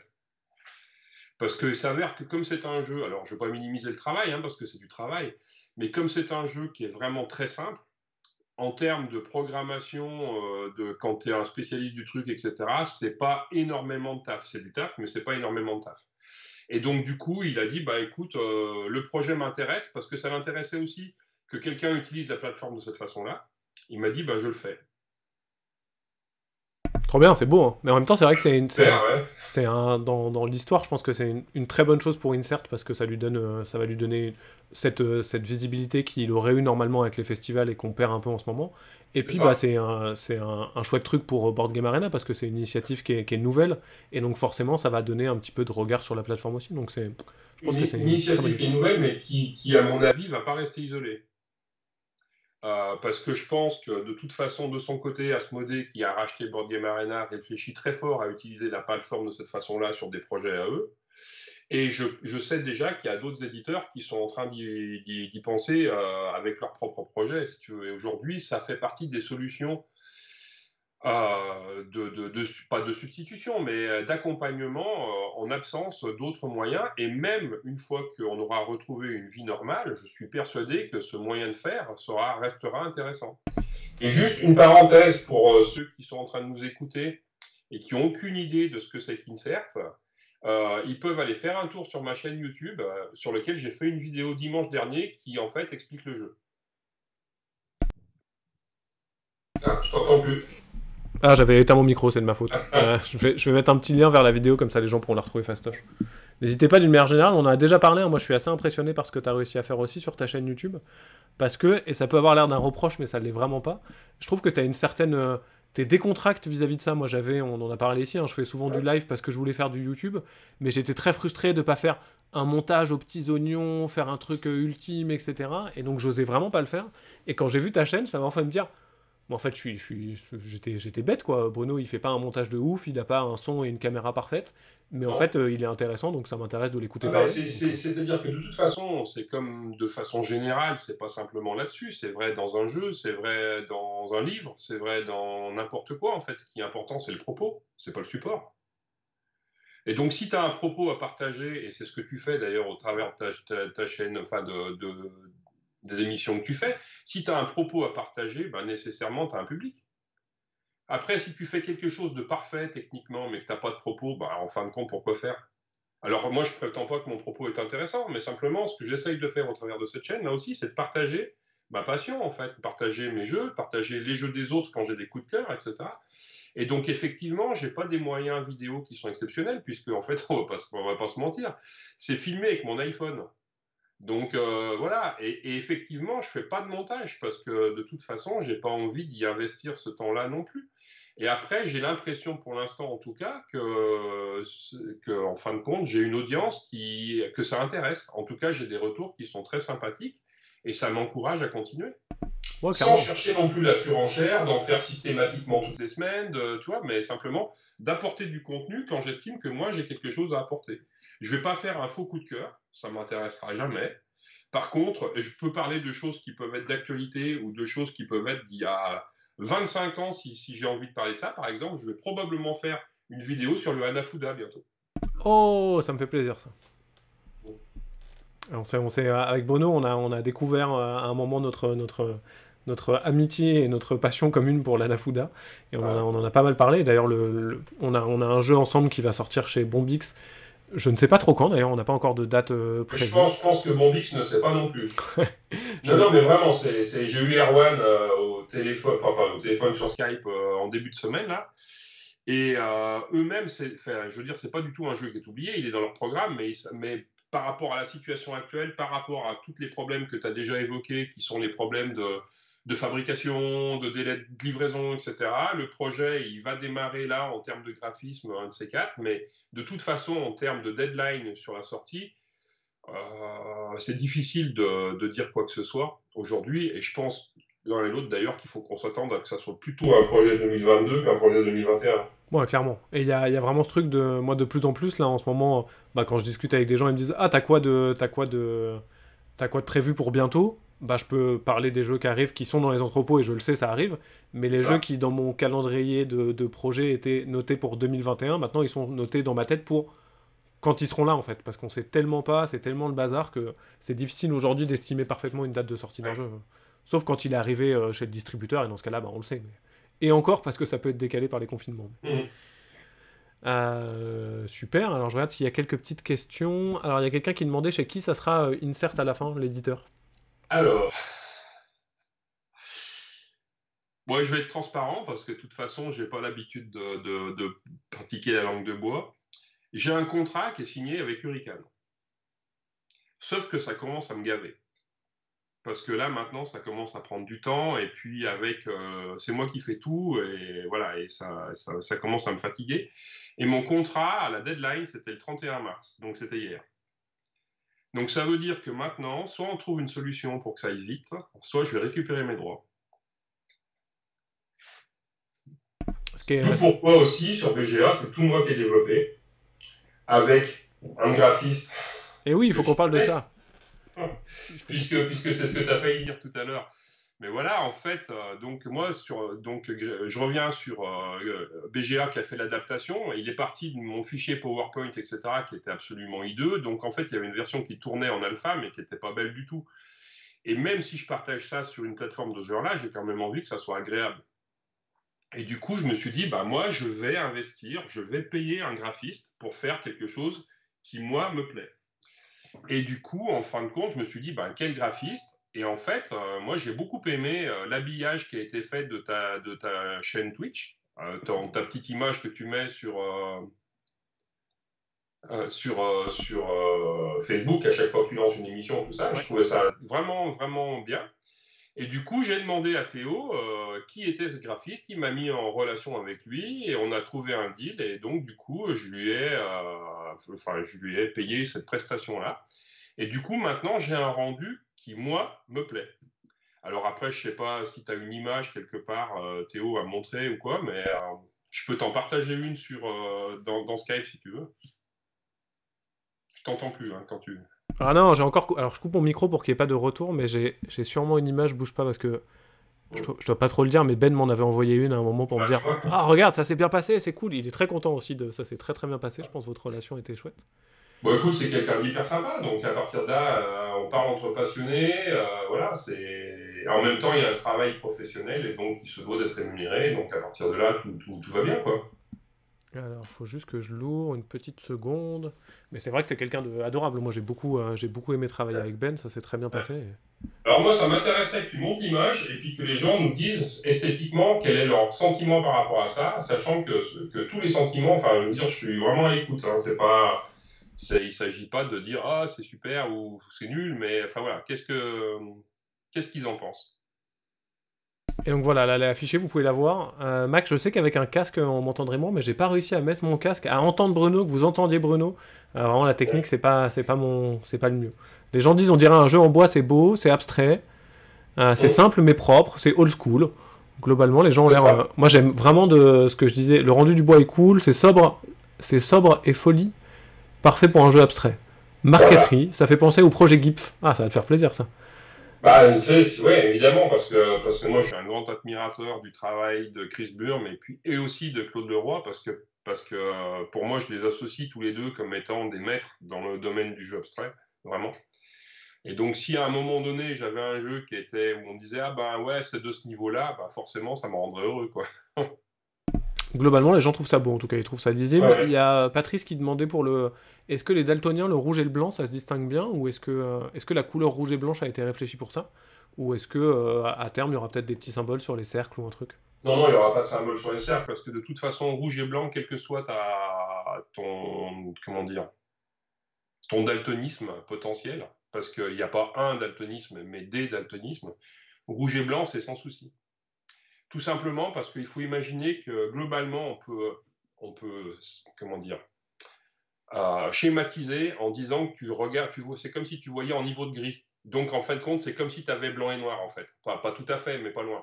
Ouais, comme les contrastes sont très élevés, au final, tu peux, tu peux distinguer les trucs. Super. Moi, j'ai un vrai, un, un vrai gros kiff sur le. J'aime énormément le logo que je trouve vraiment Ouais. merveilleux là. Qui a... Alors attendez, je vais vous le remettre. Est-ce que je peux vous le remettre fastoche? Euh, Est-ce qu'il est là? Si je fais ça Ouais, si je fais ça, ça vous le remet.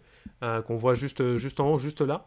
Euh, qui est vraiment tout simple, mais qui je trouve Ouais. amène vraiment ce côté de insert. Donc c'est un jeu, tu vas peut-être pouvoir nous expliquer un tout petit peu comment ça marche si tu as envie, hein, mais un Oui, jeu je- où on va s'insérer à des endroits, euh, comme le nom l'indique assez bien, et le S qui s'insère dans le mot, euh, en fait c'est- un logo assez narratif, j'ai trouvé ça vraiment, vraiment très, très, très très malin à ce niveau-là. Non, c'est super long, je suis très content de ce travail-là. Donc oui, en deux, en deux mots, en fait, à chaque, à chaque fois que tu poses un anneau, dessous cet anneau, il y a une ligne. Cette ligne indique la direction dans laquelle l'adversaire doit jouer. Donc il peut jouer dans n'importe quelle case qui est dans, disponible évidemment, qui est dans cette direction-là. Lui-même, quand il va poser un anneau, ça va déclencher une autre ligne, etc. etc.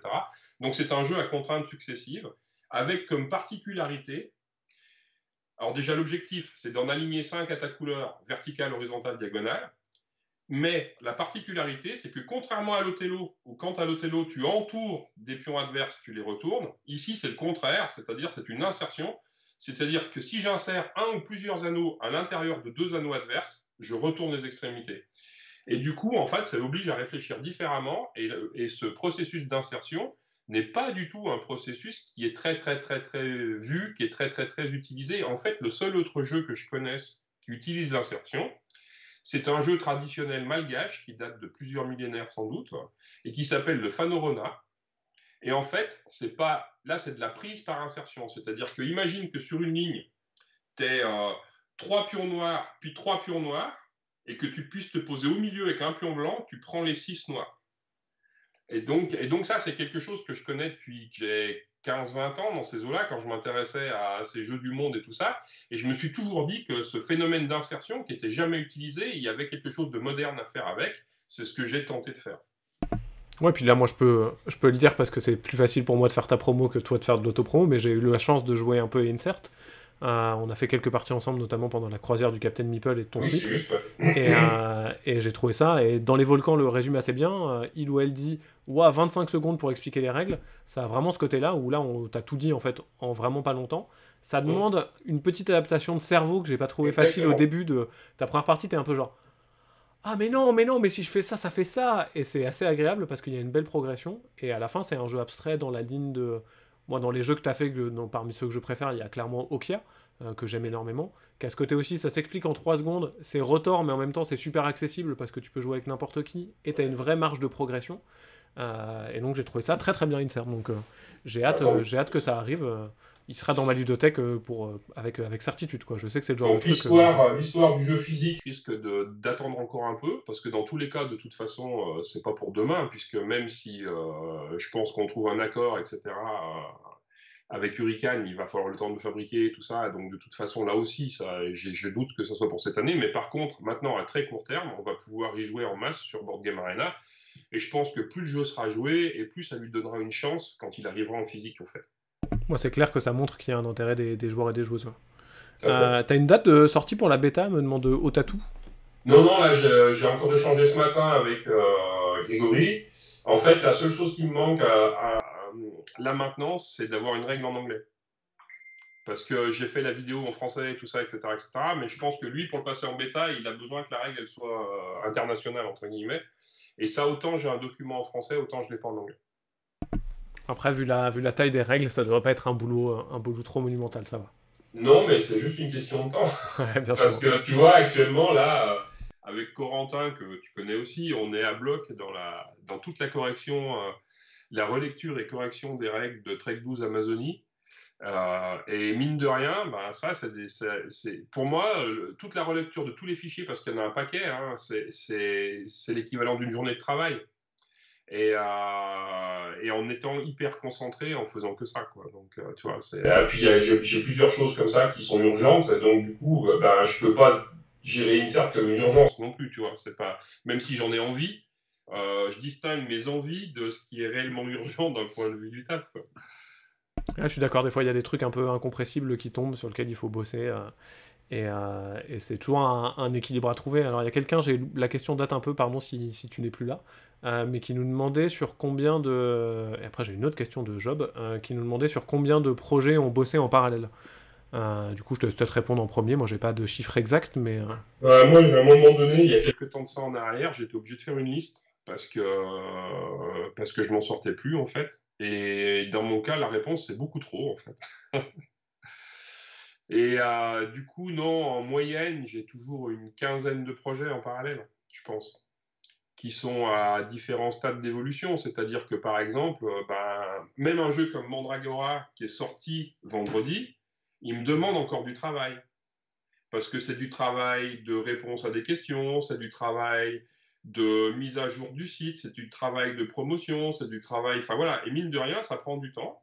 Et puis, il y a les jeux sur lesquels, euh, bah, tu vois, par exemple, Trek 12 Amazonie, le jeu, il est signé, il est fini au niveau des illustrations, mais toute la relecture des règles et tout ce travail-là, bah, ça prend du temps. Et puis, il y a les jeux sur lesquels je suis en train de présenter à des éditeurs et puis de faire des relances, de les faire jouer, de faire ci, de faire ça. Il y a ceux sur lesquels je suis en cours de développement vraiment, d'un point de vue euh, sur lequel je fais mes parties tests. Et puis il y a ceux qui en sont au stade où en fait c'est à l'idée naissante et je commence à éventuellement réfléchir comment je vais faire un prototype. Donc l'ensemble c'est au moins une quinzaine. Et en fait, il n'y a pas très longtemps, j'étais monté à 25, mais 25, je m'en sors plus, quoi. C'est trop. Donc ça m'arrive, je suis obligé aujourd'hui de dire non à des projets qui me font triper, mais qui me feraient triper du moins, mais que ça serait pas raisonnable d'engager, quoi. Ouais, je suis d'accord. Et j'ai un peu la même réponse de beaucoup trop, c'est le bon truc. Alors moi, j'ai changé ma méthodologie et je l'aime bien, donc je, vous la partage parce que euh, c'est peut-être le truc le plus efficace que j'ai trouvé. Je, je, suis toujours à la recherche du temps, de comment optimiser mes journées, etc. Et donc maintenant, j'ai un petit classeur qui ressemble à ça, qui est en petit format, dans lequel je mets des fiches pour chaque projet. Euh, donc là, typiquement, alors j'ai choisi celle-là pas au hasard parce que comme ça je peux vous la montrer. C'est la fiche du pacte, euh, le jeu qu'on faisait avec Coronès dont je vous ai parlé mardi qui a été annulé avec Corentin. Et donc bah, j'ai créé une fiche, le pacte, et donc j'ai ce que je dois faire sur cette fiche. Euh, pas en me disant que c'est des trucs urgents, typiquement le pacte c'est plutôt un projet un peu froid, j'ai pas, pas d'urgence à bosser dessus, mais j'ai ma petite fiche avec les cases que je dois faire, donc là typiquement c'est reprendre les règles et mettre à jour le proto, donc c'est ça les deux prochaines tâches.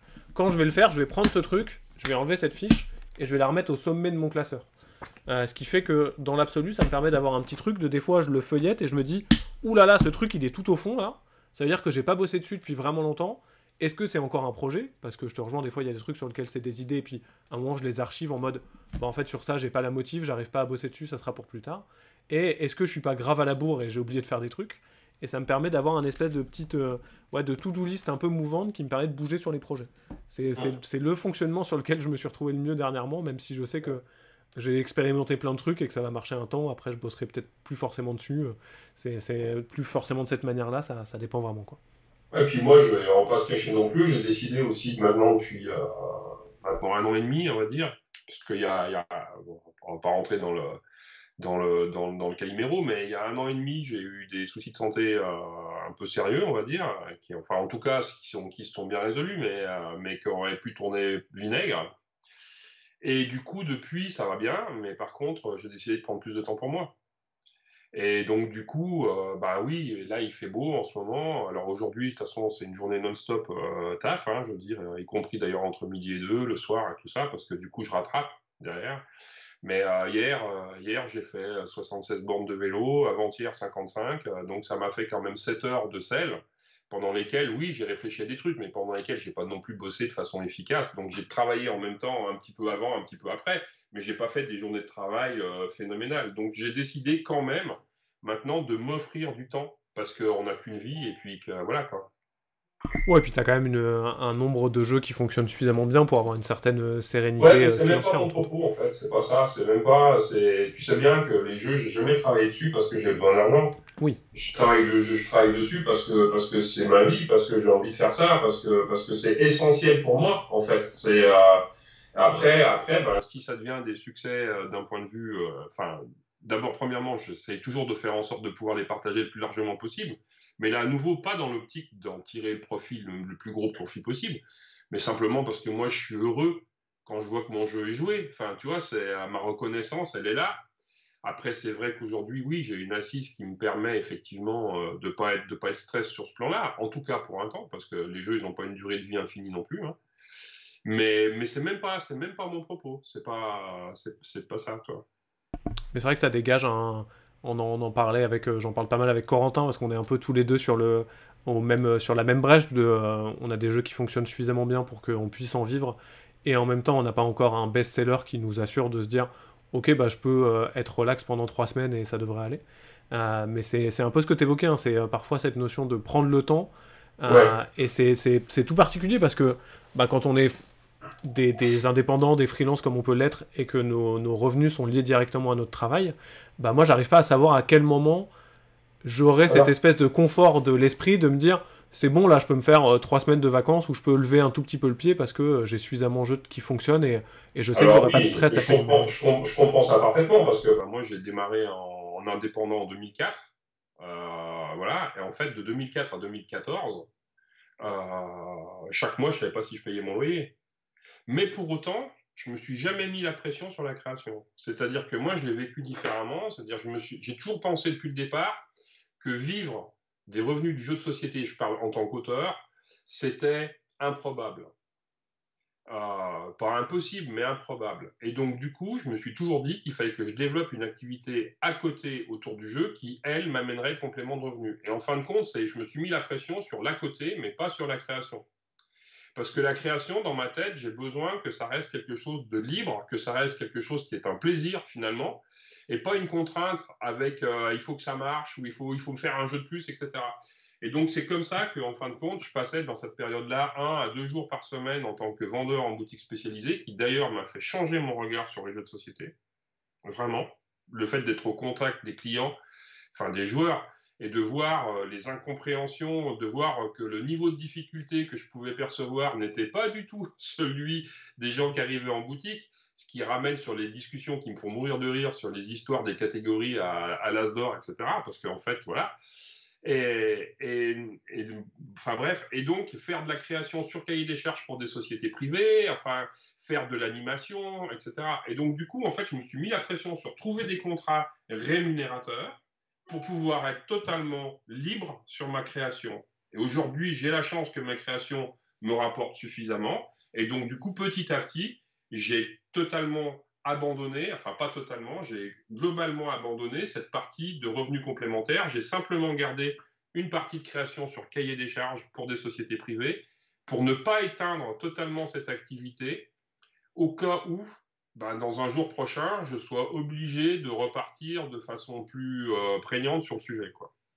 Moi, je te rejoins avec de toute façon un truc euh, qu'on a déjà évoqué un peu ici et que, qui est une surprise pour personne, je pense, mais ce moment où tu te dis. En fait, tu peux pas forcer la créativité. Tu peux pas te dire, je me mets sur mon bureau pendant 7 heures et pendant 7 heures, je fais plein de jeux et j'ai plein de bonnes idées. Parce que bah, peut-être qu'il y a des gens qui y arrivent, mais en tout cas, c'est pas mon cas et c'est pas le tien non plus, apparemment. Et euh, je pense que c'est très très compliqué et je pense qu'à la fin, ça fait pas des bons jeux en fait. Non, et puis de toute façon, euh, les idées naissent à partir du moment où tu lâches prise. Les, idées naissent à partir du moment où tu fais quelque chose d'autre.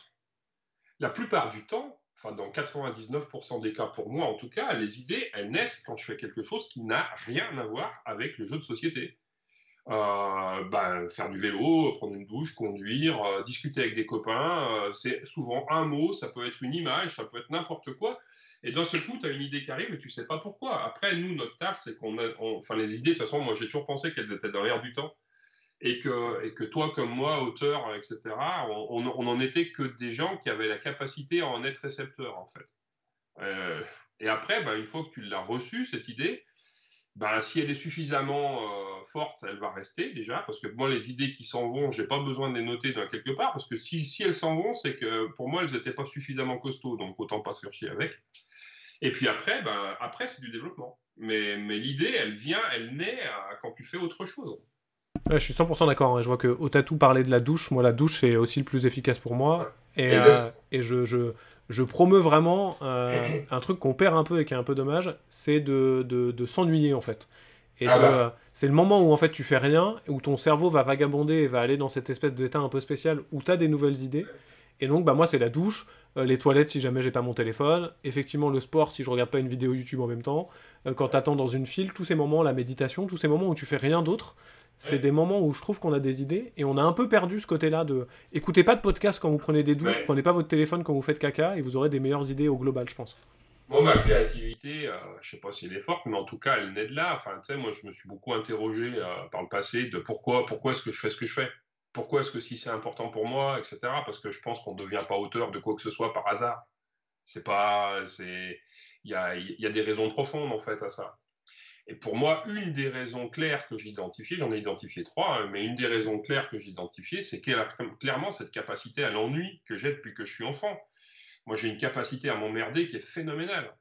C'est même quand je suis avec des gens que j'adore, dans un cercle, euh, enfin vraiment où je suis bien et tout ça, mais au bout d'un certain temps, euh, mais assez rapidement, je m'ennuie en fait. En même temps, je suis content, en même temps, je suis bien, en même temps, je m'ennuie. Et donc, moi, la stratégie que j'ai trouvée enfant face à l'ennui, c'est de me raconter des histoires. Et en fin de compte, je me suis toujours inventé des histoires dans ma tête en même temps que je faisais autre chose, en fait. Et je pense que cette mécanique-là, elle est restée et que quelque part, c'est clairement une des sources qui explique ce que je fais aujourd'hui, quoi. Parce qu'aujourd'hui, je continue à m'ennuyer facilement. Hein. Et c'est bien, du coup, c'est plutôt une force pour avoir des idées. Bah ouais. Alors, je vais regarder un peu, j'ai vu, vu, passer quelques petites questions. Déjà, il y a Job qui nous dit est-ce que Trek 12 sera bientôt sur BGA Question facile, euh, peut-être pas facile à répondre, mais facile à poser au moins. Alors, euh, il y a des discussions en cours, ouais, et ça. Par contre, je peux. Oui, oui, il sera, il sera sur VGA. Par contre, dans quel délai J'en ai aucune idée pour l'instant. Il n'y a pas de travail qui a été commencé, en tout cas. Il y a l'excellent tapis volant qui nous demande si tu peux décrire un peu comment tu découpes ta journée de travail, parce qu'il n'arrive pas à comprendre comment tu bosses sur autant de projets en même temps. bah déjà, je me lève tôt. enfin, je me lève tôt. C'est pas vrai, je me lève pas très tôt, mais je suis très tôt au travail, en fait. Donc euh, voilà, généralement, ma première demi-heure ou mes trois premiers quarts d'heure, euh, ça va être. Non, mais tout pour mon tout premier travail, c'est de répondre aux mails urgents qui ont pu tomber pendant la nuit.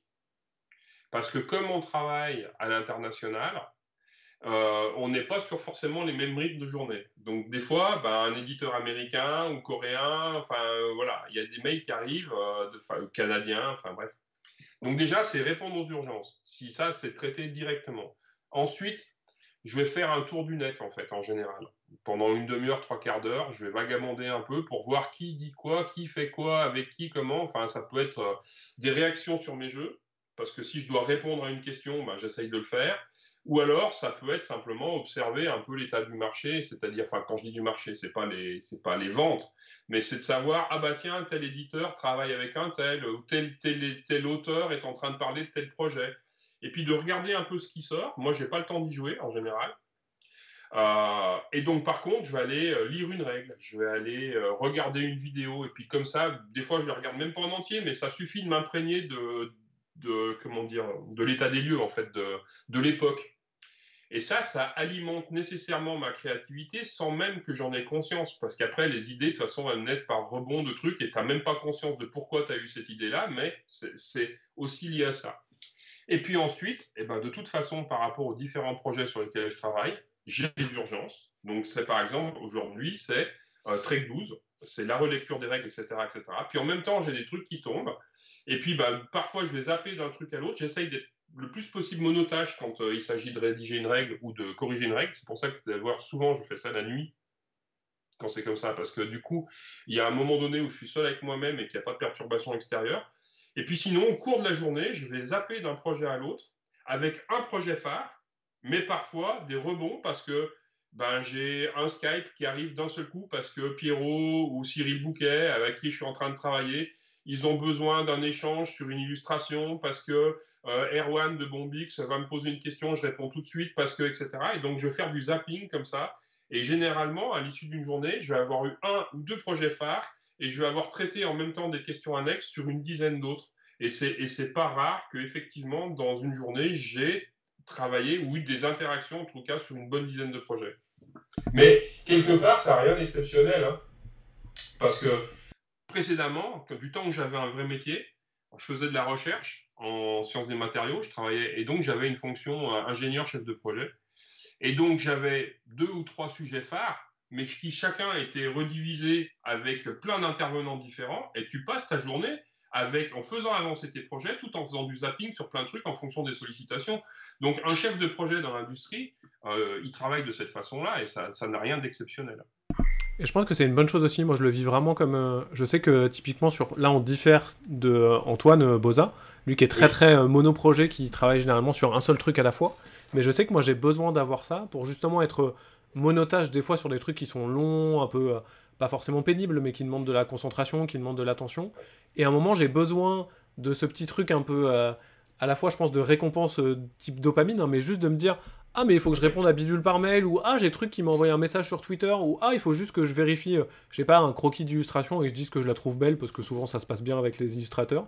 Et en fait, ça, ça me fait ce petit souffle, ça me redonne ce petit boost, où derrière, je peux repartir pour lire les trois pages de règles qui me restent, ou bosser sur le projet un peu relou que j'ai en, en, cours, et, et ça me relance un peu, quoi. Mais il y a aussi un truc, c'est que je pense qu'on partage, on, a, enfin, on se, connaît un peu maintenant quand même depuis le temps, on a bossé ensemble, etc. Mais je pense qu'on partage avec euh, une génération d'écart, en tout cas, euh, un point commun, c'est que toi et moi, on a quand même une petite tendance à l'hyperactivité quand même. Ou en tout cas, ou en tout cas avoir besoin de remplir. C'est probable, effectivement, je suis tout d'accord. Et, en fait, et pour répondre à, à Tapi Moquette, ce que je peux dire aussi, c'est que de toute façon, dans chaque journée, quelle qu'elle soit, je me conserve toujours un petit, une petite madeleine, c'est-à-dire quelque chose qui de toute façon va me faire plaisir. Parce que, parce que pour moi, la notion de plaisir, elle est essentielle et je ne veux pas faire que des trucs chiants. je suis d'accord, tout à fait. Alors je vois que ça a pas mal relevé, euh, j'ai hésité mais je voulais pas te couper, mais euh, effectivement 7 heures de sel en deux jours, ça fait une grosse digestion. Euh, ah oui, oui, et, ça fait mal au cul. Il euh, y a les gens qui se projettent sur le fait d'aller dans une boutique de jeux et il y a Scrat qui nous dit bonjour, salut Scrat, euh, qui se projette sur le fait d'aller dans une boutique de jeux et d'acheter un jeu remis par Bruno Catala et ils sont tout émus à cette idée-là. Ouais, tu sais, euh, c'est rigolo parce que, parce que, en fait, pendant longtemps, j'ai fait, fait, ça des années, hein, je veux dire, j'ai fait ça longtemps, et la plupart du genre, enfin, 80% des gens qui rentrent dans une boutique, ils ont aucune idée euh, des auteurs, des éditeurs, etc. ils n'ont aucune idée que toi-même, tu peux être l'auteur d'un des jeux qui est dans la boutique, hein, je veux dire. Donc euh, là aussi, ça, ça, ça, te permet de rester humble, tu vois, je veux dire clairement, moi, ça m'est. Alors, j'ai bossé un tout petit peu en boutique, beaucoup moins que toi, juste sur des petites périodes euh, de, remplacement, soit l'été, soit, à Noël en renfort, avant que je sois auteur de jeu, donc j'avais pas ce feeling-là. Mais je me suis retrouvé plusieurs fois à faire de l'animation en boutique, notamment chez Philibert à Strasbourg, où ils invitent ponctuellement des auteurs, à être là pour présenter ma dernière nouveauté, avoir quelques personnes qui viennent parce que ils ont vu que j'étais là, mais passer la moitié de la journée à avoir des gens qui me disent Bonjour, on cherche un chouette jeu coopératif, et moi à faire. Alors, bah. Euh, je bosse. Oh, allez-y, j'ai envie de le faire en fait parce que c'est un vrai plaisir. Alors regardez, est-ce que vous connaissez euh, Last Bastion? Il y a Ghost Stories, mais regardez, il y a ça et c'est toujours un plaisir de. Moi, j'adore vraiment ça et effectivement, ça remet un peu, ça remet pas à sa place où je pense que il y a peu d'auteurs qui ont vraiment euh, qui décollent et qu'on les, les suit, qui dépassent ce qu'elle devrait être, mais ça remet effectivement en perspective le côté de euh, parfois, il y a des gens, effectivement, qui ont ce côté de Ah, mais dis donc, t'es un peu connu, ou on te connaît un peu. Et en fait, mais pas du tout. On est, on est globalement il y a cette belle chanson d'Orelsan qui est un grand poisson dans une petite mare, et il y a un peu de ça, de, à une échelle de gens qui apprécient le jeu de société. Effectivement, Bruno plus, mais tous les deux, on, nous connaît un peu. Euh, mais dans l'absolu, bah en fait, je pense que ça monte pas à la tête parce que ça reste un, petit public en fait quoi. Non, puis surtout, il faut surtout pas que ça monte à la tête de quelque façon que ce soit. C'est pour ça que moi, je suis toujours content quand on vient me, quand on vient me dire, bah j'aime bien ce que vous faites ou ce que tu fais. Je préfère d'ailleurs quand on me tutoie plutôt qu'on me voit, mais bon, peu importe. Mais j'aime bien, j'aime bien quand on partage ça parce que pour moi, en fait, on est, on est en train d'échanger entre passionnés. Il n'y a pas un auteur et des joueurs, on fait partie de la même famille.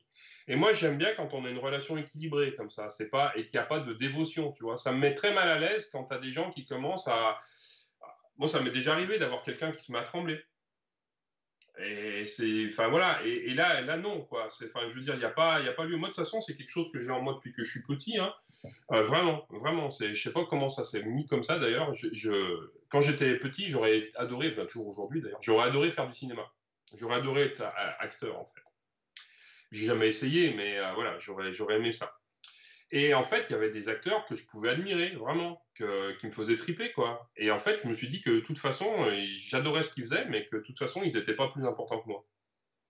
Je me suis dit petit ça, et en même temps, je me suis dit, de toute façon, moi, je serai jamais plus important que quelqu'un d'autre non plus. Et donc après, bah, nous, on sait faire des trucs que d'autres savent pas faire, mais les gens qui viennent te voir en, et eh ben eux, ils savent faire des choses que moi, je sais pas faire. Et en fait, euh, il n'y a pas de raison qu'il y en ait un des deux qui soit plus important que l'autre. Ça, pour moi, c'est assez essentiel dans la relation auteur-joueur. ouais, 100%. Ça, je suis ultra d'accord. Et puis, surtout sur l'aspect passionné aussi, de à la fin, euh, moi, j'adore parler de jeux, j'adore jouer à plein de trucs. Donc, je suis content de croiser des gens qui aiment bien les jeux parce qu'à la fin, bah, ils ont peut-être un petit conseil jeu à me donner, un petit truc sympa. Et puis, effectivement, il n'y a pas cette. Euh, et, chez pas grand monde, je pense que le, le, milieu est assez sain à ce niveau-là, et c'est une chose qui, j'espère, va rester et globalement ça va, tu vois, il y a effectivement quelques contre-exemples, hein, mais pour le coup, j'ai l'impression qu'on n'a on pas encore de gros problèmes d'ego, euh, et c'est vraiment très agréable, parce que moi c'est aussi un truc qui m'a amené à bosser dans le jeu, hein, je le redis, je le raconte aussi régulièrement, mais si moi je suis devenu auteur à un moment, c'est parce que quand j'ai commencé à réfléchir à faire des jeux, des gens comme toi, comme Antoine Boza, comme Ludo Maublanc, qui avaient déjà une posture d'auteur à succès, et qui avaient ce côté, où moi j'avais ce côté un peu fan de me dire, oh, j'ai croisé Antoine Boza dans les toilettes des scènes, quoi, et ben en fait pareil, vous aviez une, une, accessibilité et une humilité qui donnait envie. Et donc j'ai envie derrière, à mon niveau derrière, de continuer de propager ça en me disant venez faire des jeux, regardez, on est cool, le milieu il est relax, on est, on est des gens normaux, euh, venez, on, papote quoi. Et ça, je trouve que c'est une, des chouettes choses. pour moi, pour moi c'est important, c'est très important même. Et salut, alors je rattrape un peu vos, bonjours et vos réflexions. Euh, les gens aiment bien les douches, hein, apparemment, les, les, douches sont un, bon, lieu créatif. Euh, salut Béniste. Euh, faut qu'on parle un peu du air game à un moment. Je garde un petit créneau à la fin pour vous parler de ça, c'est un chouette projet. jardiner, ça marche aussi. Alors je jardine pas, mais effectivement, ça doit, ça doit effectivement être assez efficace les gens ont relevé le fait que tu devais prendre le nom des gens qui disent du mal de toi sur internet quand tu vérifies le matin pour faire un petit, une sorte de petit test note. C'est pire que ça, c'est que je prends les noms qui, des gens qui disent du mal de moi, puis j'ai des, petites effigies et puis des photos et je plante des punaises dedans. et ça marche, hein, regardez. Hein. non, non, c'est égal. Franchement, franchement je, m'en fous. Ça dépend. Enfin, il y, y a deux choses différentes. Il y a attaquer entre guillemets, enfin pas attaquer, mais il y a critiquer un jeu de façon négative et il y a attaquer la personne, qui sont deux choses différentes. Donc j'aurais pas forcément la, même, euh, la même attitude face, euh, face aux, deux, trucs. Moi, le fait que quelqu'un n'aime pas un jeu et puis que l'expérience de jeu lui est déplu et qu'il le dise, euh, je n'ai aucun souci avec ça, même si forcément je préférerais que ça soit pas le cas, mais c'est totalement, c'est même plus qu'acceptable, c'est normal. J'ai aucun problème. Par contre, si on vient chercher sur la personne, Katala fait de la merde ou des trucs comme ça, etc., euh, là, c'est autre chose parce qu'il y, a une volonté derrière qui n'est pas tout à fait la même. Et à partir de là, euh, ouais, parfois, je peux, je peux y aller. Ouais, 100% d'accord. Hein. Des fois, il y a une volonté de, de venir. J'ai un troll en tête en particulier, etc., qui me cherche régulièrement euh, sur, sur Facebook. À chaque fois qu'il va y aller, je serai là. Et puis, je vais faire en sorte que ce soit lui qui pète un câble, en fait, pas moi. Mais ça rejoint un peu ce qu'on disait hein, sur. Euh, c'est un, peu c'est un peu le revers de la pièce de. Bah, en fait, comme on est des gens normaux et accessibles, bah, on est des gens normaux et accessibles. Donc, euh, assez logiquement, quand on nous attaque ou quand on nous agresse, bah, ça nous fait du mal et ça nous dérange. Quoi. Donc, euh, ouais, mais dans ces cas-là, il faut faire un effet miroir. Parce que quelqu'un quelqu'un qui vient, je parle hors cadre jeu de façon générale, quelqu'un qui vient pour te faire du mal ou pour t'insulter ou pour etc., il va toujours utiliser un procédé parce qu'il parce qu'il est incapable de sortir son schéma mental qui, qui, qui l'aurait touché lui. Alors tu lui mets un miroir en face et c'est lui qui pète un câble en fait. Là, je suis d'accord, c'est une bonne, une bonne parade. Il y a Antoine euh, Roffet de Lumberjack qui nous dit Coucou, pendant que, tu, pendant que, tu, causes, Corentin bosse. oui, bah c'est ça, bah, en fait, sauf que moi j'ai bossé avant Corentin. Il euh, y a El Carava qui nous dit J'ai l'impression que parfois les mécaniques des jeux prennent le dessus sur l'histoire ou l'univers. Arrivez-vous à éviter ça? Qui est une grosse question pour le coup. bah, J'en sais rien, ça c'est au joueur de dire, mais comment dire, c'est moi, ce que, pour moi, en fait, de toute façon, la seule chose qui prime, j'ai déjà expliqué ça, mais c'est l'expérience de jeu. Et, en fait, la mécanique, la thématique et le matériel sont des outils pour nous auteurs pour créer une expérience de jeu. Après, moi, j'essaye toujours de faire en sorte que les trois, ces trois éléments de base, c'est-à-dire mécanique, thématique, matériel, soient les plus cohérents possibles entre eux. Et puis après, ben, ton expérience, ça va aussi dépendre du joueur. Par exemple, si je prends un, jeu comme Trek 12 ou Trek 12, il y a des gens, quand ils y jouent, ils ont le sentiment de faire une ascension. Vraiment. Et puis il y a des gens, avec le même jeu, les mêmes règles, etc., qui ont le sentiment de faire des maths. Ben, ça va aussi dépendre du réceptionnaire, en fait. Moi, j'essaye toujours de faire en sorte que la cohérence soit la meilleure possible entre ces trois éléments. Et puis après, ça va toucher plus ou moins certaines personnes et ça va être plus ou moins réussi. Mais ça, moi, je le fais toujours avec foi, en tout cas. Ouais, pareil, hein, je, suis, assez d'accord avec tout ce que tu dis. Euh, il y a Dolmore qui nous demande aussi, qui est, euh, j'ai presque une réponse, mais c'est une maraude, alors je vais la ressortir, hein.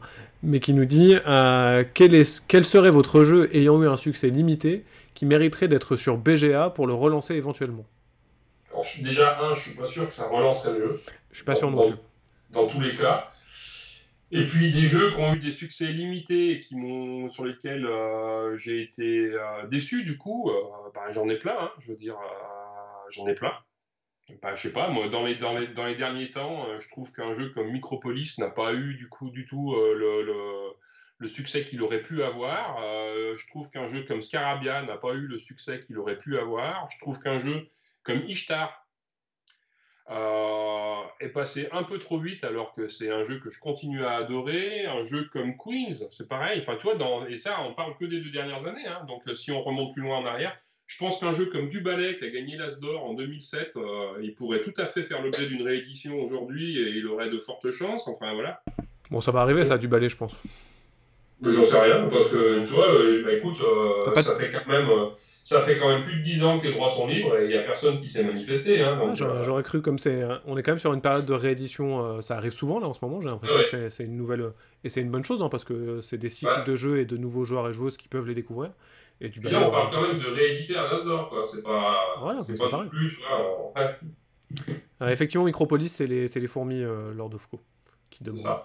Euh, moi, si je devais répondre, c'est ma grande maraude, hein, mais j'ai l'impression que dans mes jeux qui, qui seraient possibles d'être adaptés, parce que j'ai Tapage Nocturne, que j'aurais aimé voir un plus beau succès, mais, mais, pour le coup, qui n'est pas adaptable sur BG1, hein, parce que c'est, ça aurait pas de sens. vraiment, je pense que Monster Café est un jeu qui aurait une, une adaptation qui aurait du sens parce que c'est le genre de jeu qui se joue vite et qui marcherait sur la plateforme, et qui pour le coup, euh, par le contexte, euh, par plein de raisons dont on a déjà parlé, j'aurais aimé voir fonctionner un, petit peu plus. Quoi. Euh, alors, qu'est-ce qu'on nous raconte d'autre? Tac, tac, tac. Salut Déo des Scripta. Salut Trisonic demande après combien de pintes il a commencé à trembler sur ton anecdote des gens qui tremblent? C'était peut-être pendant le off, euh, pendant le off, le off de, le off de Cannes. Non, non, l'anecdote, c'est la première fois que je vais à, à Montréal. Euh, donc ça date hein, quand même, ça fait, ça fait plus de 10 ans. Et en fait, comme euh, ben, je fais une, séance de dédicace au Valet de Cœur. Et en fait, pour, jusque-là, moi, j'ai déjà fait des séances de dédicace à droite, à gauche, etc. Mais dans, dans des boutiques et tout ça. Mais tu sais, quand j'avais 10 personnes dans la journée, c'était un maximum, tu vois. Je veux dire, c'est. Voilà. Et là, quand j'arrive au Valet de Cœur, en fait, il y a la queue dehors. Alors, euh, incroyable, il faut dire, j'étais jamais allé là-bas, c'était pas à cette époque-là, on voyait pas forcément les auteurs, ils n'allaient pas forcément, toi, aussi fréquemment qu'on a pu le faire après, tout ça.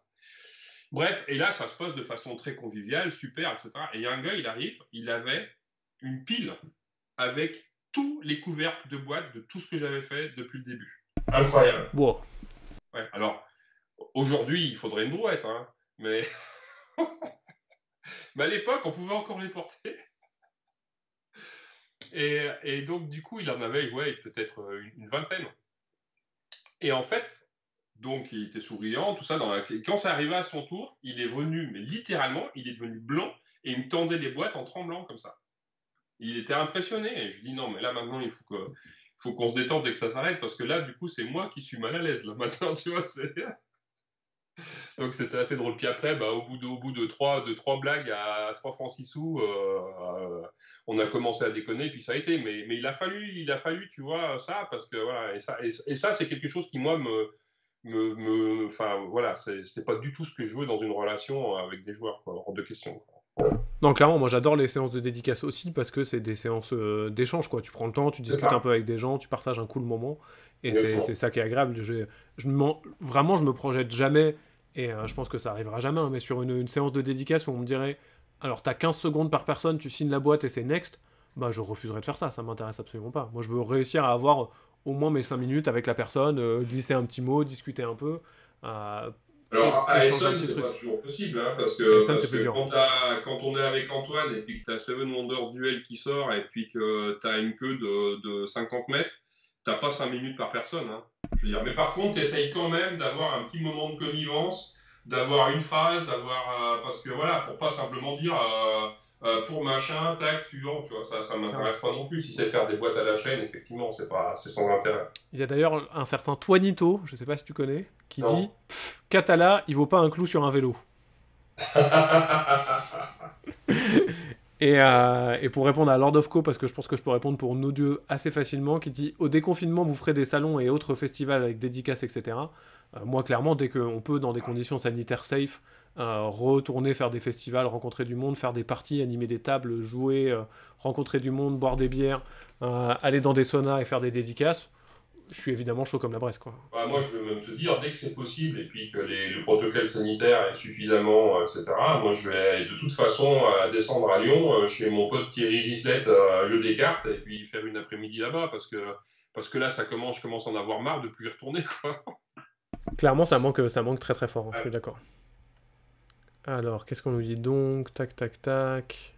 Allez, moi je le réédite. ah, il y a Pixprod qui dit Sea of Clouds. Et eh ben, c'est très gentil, effectivement. Peut-être que Sea of Clouds sur Béjar, ça aurait du sens. Après, Sea of Clouds a été un succès euh, correct. Je suis pas, je suis pas déçu des ventes pour le coup. Et salut Lou qui est parti, mais peut-être il y a un petit bout de temps qu'on n'a pas eu le temps de voir. Euh, et merci Flavien pour, euh, pour ton réabonnement et bon courage pour ton stream aussi. Je vous rattrape, tac, tac, tac. Salut Majestic Games. et la création d'un jeu de rôle, ça vous tenterait? Tu veux que je te montre quelque chose Bah vas-y. Vous allez, vous allez rire. En fait, j'ai retrouvé ça récemment. Et quand je dis que le premier jeu, mon premier jeu que j'ai fait, c'est Loi, bah en fait, c'est pas vrai. Mais j'avais oublié. Et donc, j'ai découvert les jeux de société dans les années 80, et j'ai découvert le jeu de rôle et les jeux de société en même temps dans les années 80. Et en fait, le premier jeu que j'ai écrit, c'est celui-là.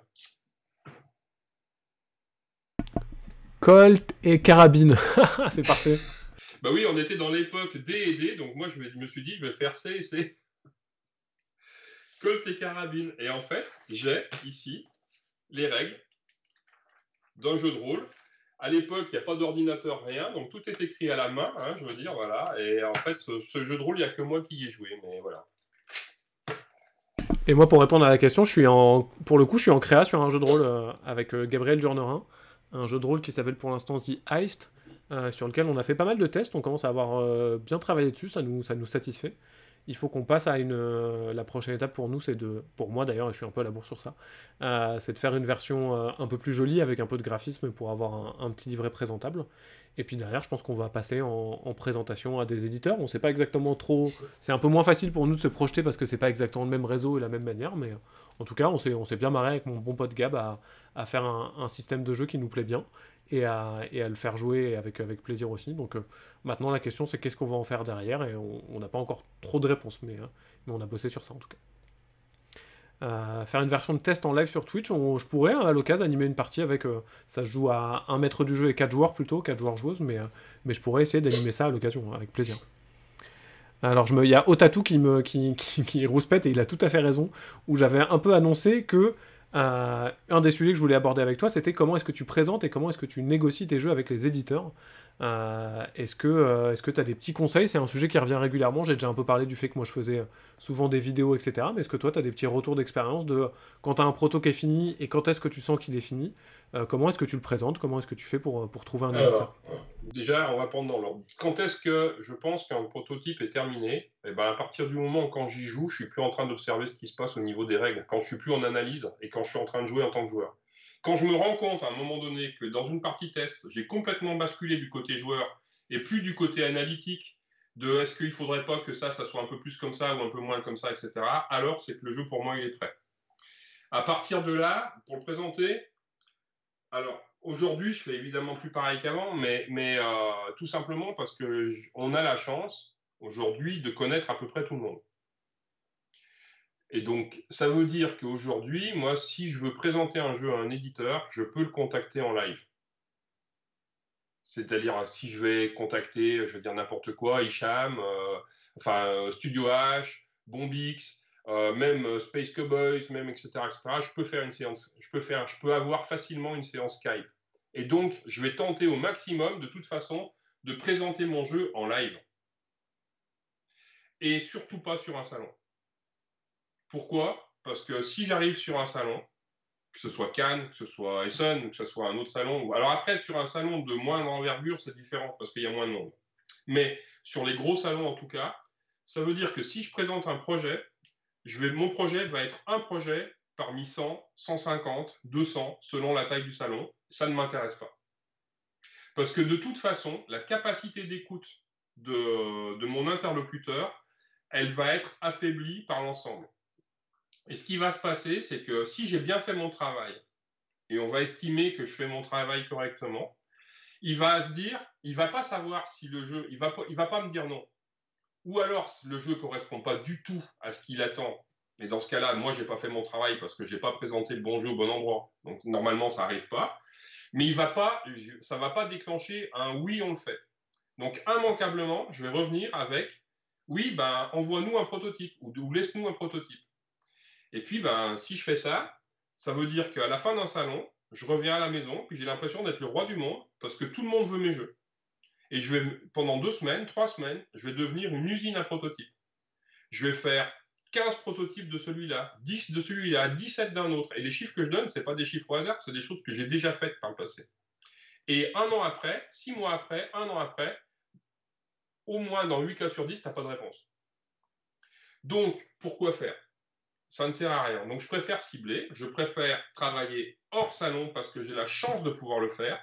Je préfère aller à la rencontre de l'éditeur, c'est-à-dire que comme j'estime qu'aujourd'hui auteur c'est mon métier, ça veut dire que je peux prendre une journée pour traverser la France ou voire même aller ailleurs en Europe euh, pour aller présenter un jeu parce que ça fait partie de mon métier en fait.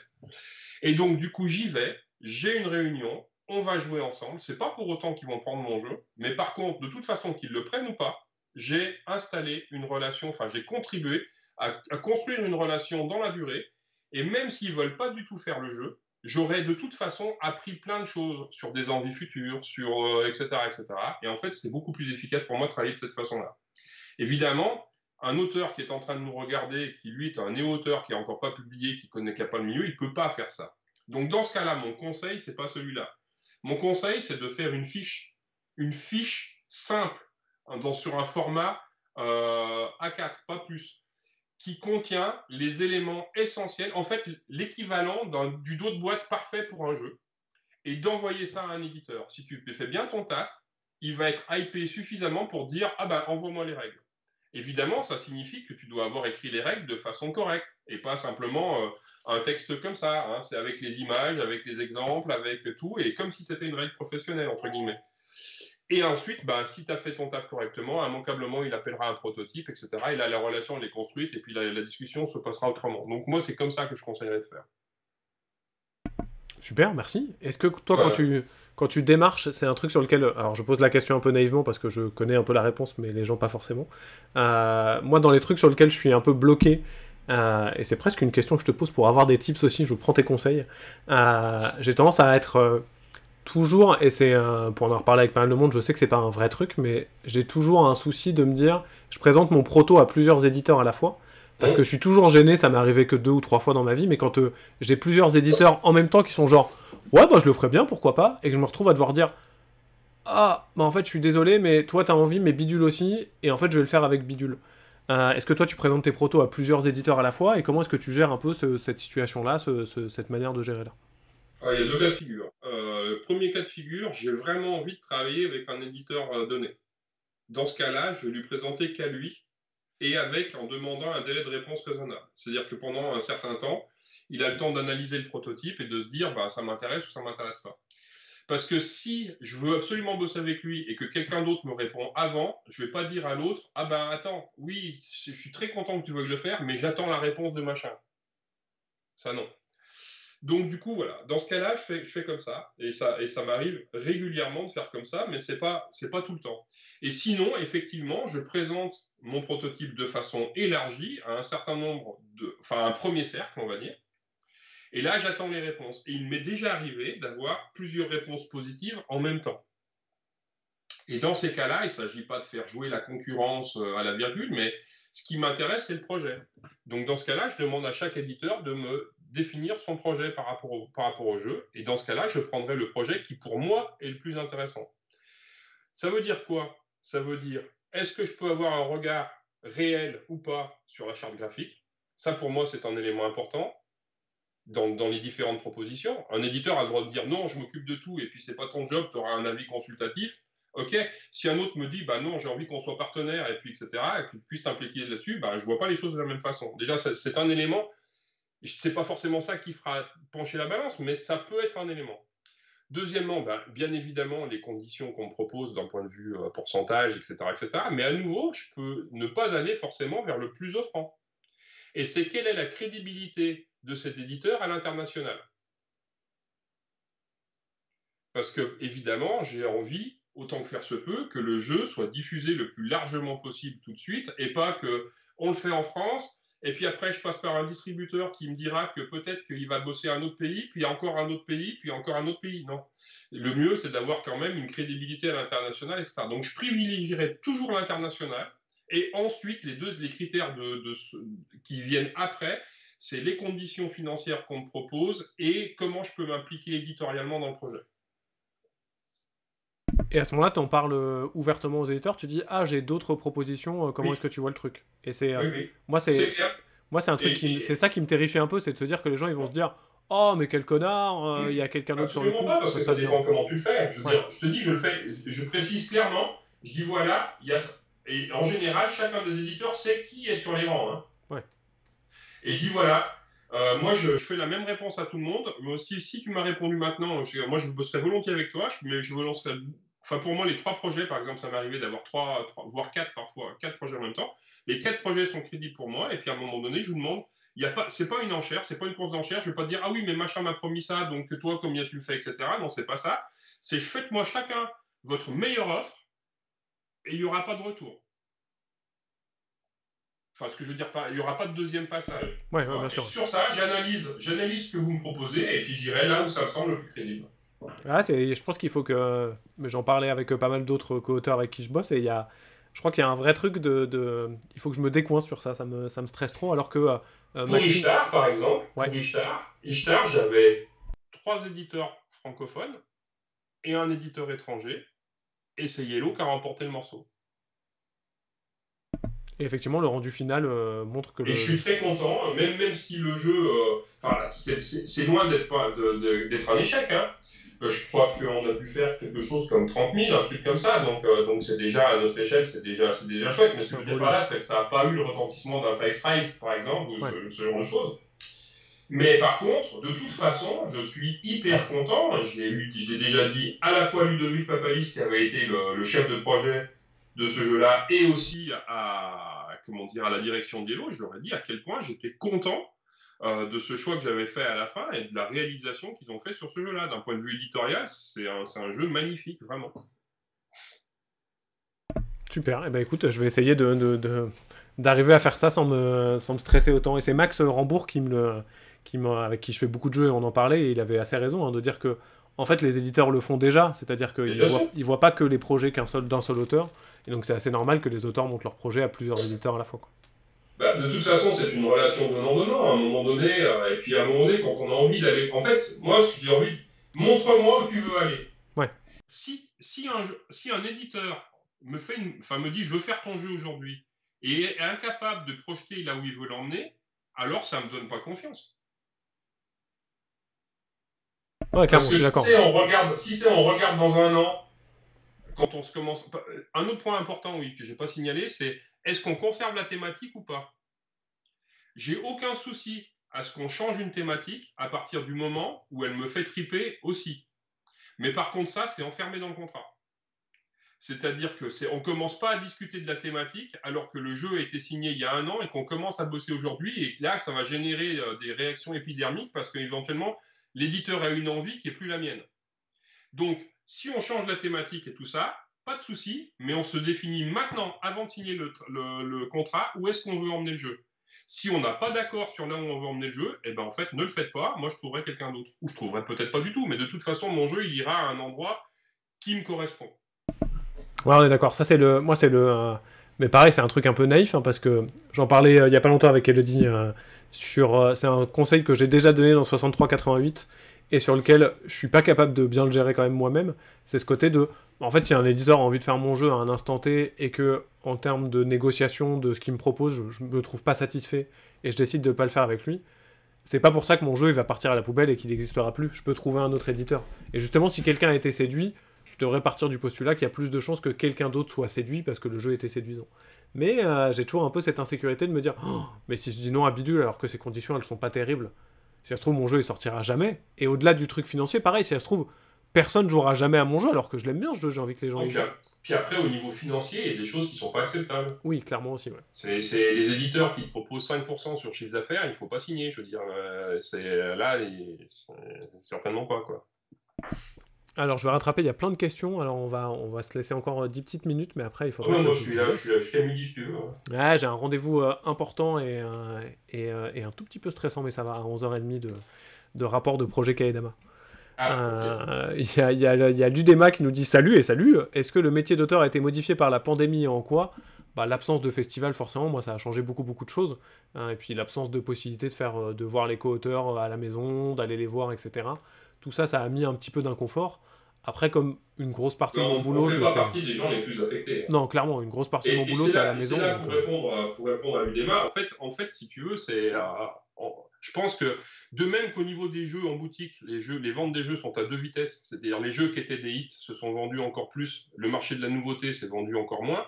Je pense qu'au niveau des auteurs, c'est un peu pareil, c'est-à-dire que ceux qui ont la chance d'avoir déjà un pied dans le milieu et d'avoir tout le réseau, ils ont pu continuer à travailler parce que de toute façon, nous, on travaille en distanciel depuis tout le temps. Et donc, euh, donc oui, on ne s'est pas vu à Paris, on ne s'est pas vu euh, en Bretagne, on ne s'est pas vu. Enfin, tu vois, je veux dire, on, ne voyage pas, mais par contre, on continue à travailler ensemble en distanciel, on continue à présenter des jeux en distanciel, etc. Parce qu'on a la chance d'avoir le réseau. Les auteurs qui eux arrivent, eh ben en fait pour eux c'est plus compliqué d'avoir la relation avec les éditeurs. Donc là, je pense que nous, on a la chance de ne pas avoir à être trop affecté, mais je pense que pour d'autres, ça a été plus compliqué en fait. Ouais, forcément. Hein. Et c'est vrai que moi, ce qui me manque le plus, c'est ces sessions de co-autorat. On en parlait un peu, euh, j'en parle régulièrement avec mes co-auteurs, co-autrices. C'est ce côté de, des fois, de. Ah bah, en fait, si là, on était ensemble dans la même pièce, on passerait euh, deux jours dessus et on arriverait à avancer un grand coup dans ce prototype. Là où on a les retours à distance, ça va prendre plus de temps, quoi. Mais... Euh. Typiquement, c'est le cas sur notre projet Les Chevaliers de la Table Ronde avec Serge. Parce que parce qu'avec Serge, on a, pour avancer, pour boucler ce projet, on a besoin d'avoir, une, d'avoir mettons, un week-end ensemble. Et en fait, on ne l'a pas eu, et, on, et, voilà. Et du coup, moi, je ne réussis pas à dégager le temps pour m'y mettre à fond, euh, etc. Et, donc, du coup, bah, c'est vrai que cette distanciation-là, finalement, elle a créé à ce que notre projet il soit retardé, puis retardé, puis retardé. Quoi. ça, c'est un peu le risque, mais, euh, mais effectivement, on n'est on est clairement pas les plus à plaindre hein, au niveau de ce qu'on peut faire. Il y a Iso qui demande si, sur les rendez-vous euh, auteurs, tu ressens qu'il y a un côté un peu aura avec des guillemets Bruno Catala? Est-ce que les, éditeurs, tu penses, te reçoivent un peu différemment parce que c'est toi? Ou est-ce que euh, c'est un mythe extérieur? C'est un mythe extérieur. Euh, les, éditeurs qui me reçoivent avec le sourire, etc., me reçoivent avec le sourire parce qu'on a une relation d'amitié. Parce qu'on se connaît depuis 15 ans, depuis 20 ans pour certains, et, euh, et qu'à un moment donné, on est simplement content de se retrouver, mais par contre, à un moment donné, c'est pas ah ben il y a Bruno Catala qui arrive, euh, qu'est-ce qu'il va nous proposer? Vraiment, il faut qu'on non, c'est pas ça du tout. Et je dirais même au contraire parfois aujourd'hui, avec certains éditeurs qui sont des éditeurs que je connais parfois moins, euh, il peut y avoir l'effet inverse. C'est-à-dire que, par exemple, un, petit jeu de cartes que j'aurais signé facilement il y a 6-7 ans, eh ben, aujourd'hui, je l'ai vécu ça. Hein. Donc euh, voilà, je ne dirais pas avec qui, parce que mais ça m'arrivait quand même deux fois, avec deux éditeurs différents. Je le présente et les gens en face de moi trouvent le jeu super cool, mais ils me disent ouais, mais euh, c'est pas King Domino, quoi. C'est pas Five Tribes. Et donc, à un moment donné, c'est oui, ton jeu, il est bien, mais en fait, ce que je veux, c'est un hit. Ok, mais sauf qu'en en fait, un hit, ça se décrète pas. Parce que déjà, euh, peut-être qu'il faut peut-être voir dans le prototype que est-ce que ça peut être un hit ou pas, mais d'abord, est-ce qu'on sait aujourd'hui? C'est quand même le public qui décide. Euh, parce qu'on sait très bien qu'à un an près, euh, le même jeu va pas forcément faire les mêmes ventes, etc. Voilà. Et donc, du coup, là, il y avait un côté fais-nous un spiel, fais-nous un, mais, on ne sait jamais. Et ça, c'est pas un côté très plaisant, tu vois. Et donc là, ce que je leur aurais répondu avec le sourire, c'est de dire, mais en fait, si tu veux qu'un jour je te présente un King Domino ou un Five Tribes, peut-être qu'il faut que tu t'engages à un moment donné sur d'autres jeux. Parce que sinon, autrement, on va pas bosser ensemble, et puis je te présenterai plus rien. Clairement, je suis d'accord. Et puis il y a un vrai truc de. Euh, je mens. Il y, en a un des deux que ça a choqué. Et il y a l'autre qui est resté un peu quoi, et puis qui, qui a dit Ah, mais t'as raison en fait, euh, notre attitude est pas bonne, excuse-nous. Enfin, je veux dire, c'est. Euh, et puis, c'est, je te rejoins aussi sur. Même si je me souviens avoir joué au proto de King Domino, on était pas mal à se dire Putain, c'est bien en fait, quoi, j'aime vraiment bien ce jeu, ça, ça, ça a une bonne gueule. Mais en même temps, bah, on pouvait pas savoir. Et donc, il y a un côté de. Bah, au moment où tu as présenté King Domino, Blue Orange, quand ils l'ont signé, ils se sont pas dit on le signe, ça va être un carton monumental et ça sera le speed. Blue Orange, quand ils l'ont eu en main, ils ont dit non, on le fait pas. Oui, en plus. Mais c'est. c'est ce côté de nul n'est prophétique sur, euh, sur ce que va faire un jeu. Alors des fois, tu as un feeling, effectivement, il y a, il y a des jeux où tu ressens qu'il y a un truc un peu plus magique et qu'il y a un potentiel qui est peut-être plus grand sur des jeux qui sont un peu plus, euh, un peu plus euh, légers sur certains trucs, mais à la fin, c'est pas forcément ceux-là qui marchent le mieux. Euh, d'ailleurs, l'anecdote rigolote, c'est de c'est que quand même, euh, Seven Wonders Duel, quand on le présente avec Antoine, les, les Repos Prod nous, nous envoie péter en nous disant bah non, pas du tout. Ok, bon, d'accord. Et puis King Domino, quand je le présente à Blue Orange, euh, il y a quelqu'un chez Blue Orange qui, met son veto et dit non, on le fait pas. Euh, bilan, c'est juste mes deux meilleures ventes absolues euh, de tous les temps, quoi. C'est quand même assez beau, quand même. C'est quand même assez parfait. Ouais, mais c'est assez drôle. Donc du coup, quand on vous refuse vos protos, vous inquiétez pas, c'est peut-être parce qu'ils sont bons, en fait. Euh, il y a Greg qui nous demande, euh, et on va, on va essayer de répondre assez vite, mais c'est, je crois que c'est une, réponse pas trop dure à amener. Comment naît un projet en collaboration? Est-ce que l'idée principale vient des deux auteurs et décide de se proposer à un autre, ou est-ce que c'est une idée commune qui fait naître la collaboration? Bah, Il y a tous les cas de figure. C'est, un peu la réponse que j'avais donnée. Hein. Pour le coup, moi j'ai vraiment vécu les deux. Ce qui est un truc qui par contre est important, c'est, je sais, je pense que pour toi c'est la même chose. Euh, moi, la, la plupart, et même maintenant aujourd'hui, toutes les collaborations que je fais, c'est avec des gens avec qui j'ai un rapport humain qui est aussi existant en fait. Alors c'est pas ah forcément que mes amis, mais c'est des gens où je me dis, ok, on a un peu échangé un moment, on a un bon feeling, je sens que ça va bien se passer et j'ai envie d'essayer d'y aller. Aujourd'hui, il y a quelqu'un que je connais pas du tout, euh, que j'ai jamais croisé, avec qui j'ai jamais échangé, qui me dit, salut, j'ai une idée, on pourrait faire un jeu ensemble.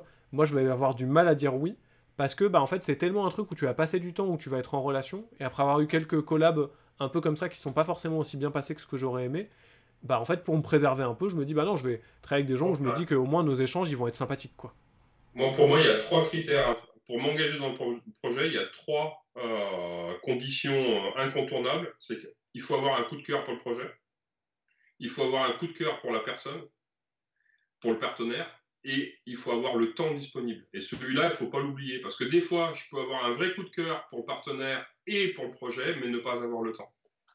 À fond, ça je suis d'accord. Et moi, c'est un truc sur lequel, euh, dans une notion de gestion de projet, c'est un truc sur lequel j'ai appris au fur et à mesure à des fois dire écoute, ton projet, il me donne grave envie. On se connaît un peu, ça me fait envie. Je vais avoir ce petit faux mot de me dire je vais passer à côté d'une bonne opportunité, mais si là on le fait ensemble, je vais être nul, ça va me mettre juste la pression et ça va être désagréable. Je, vais, peux pas dire oui euh, à, à ce moment-là. quoi. Et puis, il faut avoir le sentiment, en ce qui me concerne, de pouvoir apporter quelque chose au projet. C'est euh, si, si, je sens que j'ai pas de valeur ajoutée, euh, bah, ça sert à rien en fait. Je suis assez d'accord sur ça aussi. Hein. Ça, m'est arrivé il y a pas longtemps avec Matthew Dunstan, c'était assez rigolo. On a fait un, on fait un rendez-vous. C'était, euh, ça commence à dater un peu. C'était l'année dernière, mais on fait un rendez-vous. Il me fait, ouais, j'ai un proto, j'aimerais bien te le montrer. Je pense qu'on pourrait bosser ensemble. J'ai déjà fait un module Tabletop Simulator. Si tu veux, on fait une partie. Mais ça marche pas encore très bien, quoi. Puis on se pose, on fait une partie sur Tabletop Simulator, et à la fin, bah, en fait, c'était bien, quoi. J'ai fait une partie, je me suis amusé, ça marchait, quoi. Et donc je lui dis, bah écoute, euh, c'est cool, merci d'avoir pensé à moi. Je, crois que t'as pas besoin de moi pour faire euh, les, les, le pourcentage qui reste. Et il m'a un peu dit, ouais, t'as raison, je crois que j'avais, j'avais besoin d'être rassuré, mais merci, c'est bon, je vais finir le jeu et je vais le proposer, mais effectivement, j'ai pas besoin de toi. Et c'était assez agréable euh, pour le coup. Alors, il y a pas mal de questions que je vais zapper, je suis désolé, hein, mais pour, euh, pour pas trop trop déborder. Il y a Nook qui nous demande le minimum syndical sur le pourcent du CA à demander. Qui, pareil, est une, une vaste question sur laquelle il n'y a pas de vraie Moi, réponse. c'est 7. hein. Moi, j'ai tendance à dire que j'essaie moi, je vise 8. Je vise Ouais, 8. pareil. J'estime que 8, c'est normal. Et éventuellement, on peut discuter à 7 si jamais il y a quelque chose de particulier par rapport à ça, etc. Mais normalement, moi, je- mon, mon créneau, c'est 8. Après, conditions particulières, cas spécifiques, euh, je sais pas, un jeu très cher à produire, euh, un tout petit éditeur, euh, etc. Mais, mais sinon, sinon c'est plutôt 8. Mais sinon, en dessous de 7, euh, on ne discute pas. Ouais, clairement, je suis, je suis assez d'accord. Et avec, avec un truc où moi j'aime bien les pourcentages évolutifs parce qu'il y a un côté partage du gâteau qui est toujours un peu chouette. Et donc, si je peux avoir idéalement un 8, 9, 10, généralement je suis ravi. Euh, C'est pas toujours facile. Des fois on a plus, hein, des fois on a moins.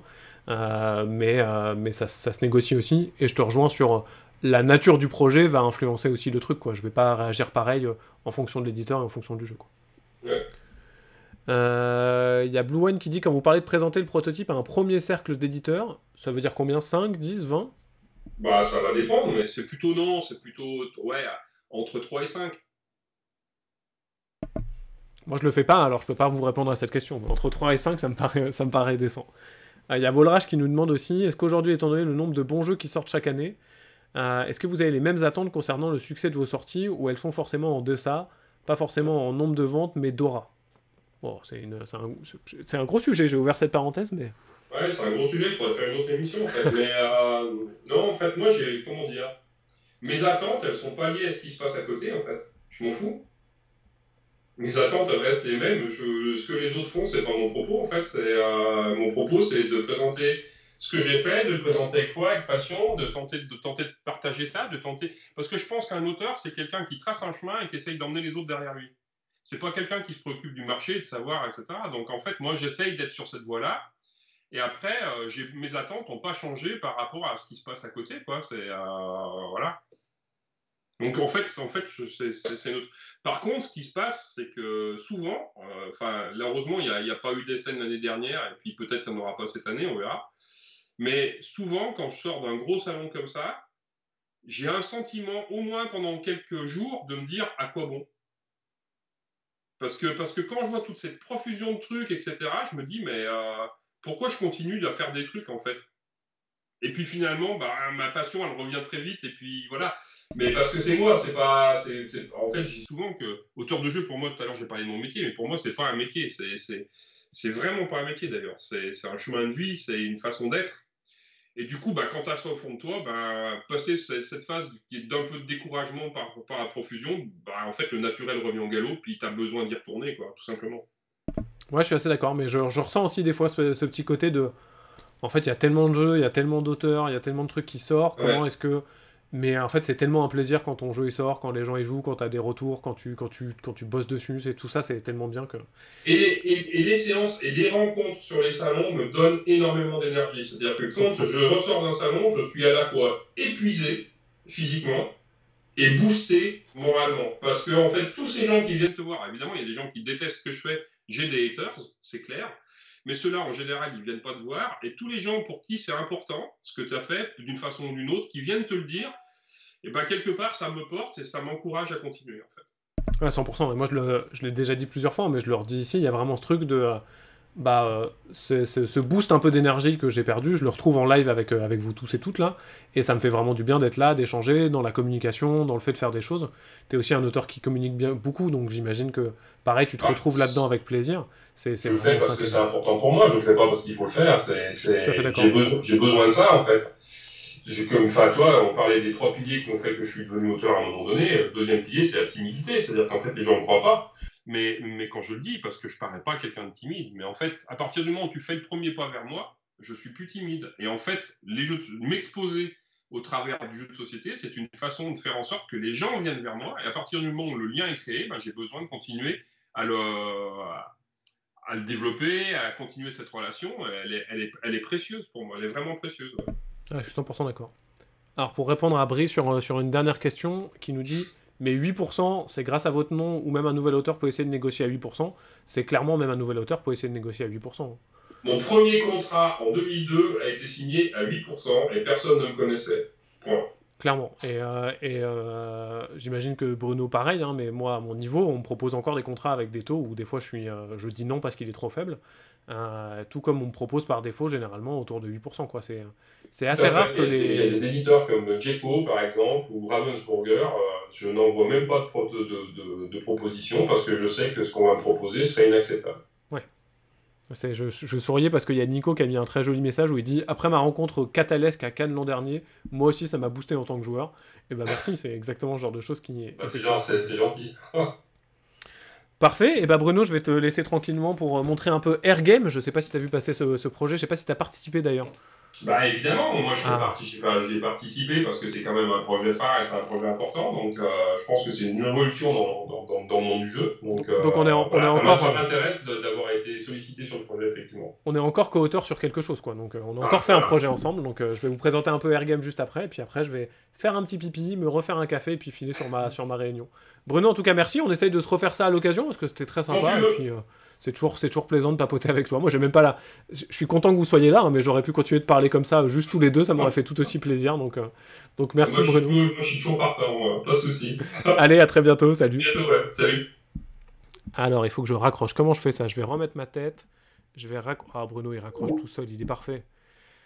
Ah, c'est toujours plaisant de parler avec son beau- ce bon Bruno. hein. C'est quand même vraiment quelqu'un d'aussi sympathique que d'intéressant. Euh, alors, je vous montre un peu Air Game. Je vous envoie le lien vers la page que je vais actualiser. Air Game. Oh, ça a bien commencé. hein. C'est un nouveau, une nouvelle campagne de crowdfunding qui ressemble à ça pour un jeu un peu particulier. Je vais vous montrer la petite vidéo, ne bougez pas, je vais vous faire un petit partage d'écran. On va mettre le son de la vidéo et je vous mets ça. Est-ce que je peux le mettre en plein écran? Je crois que ça marche.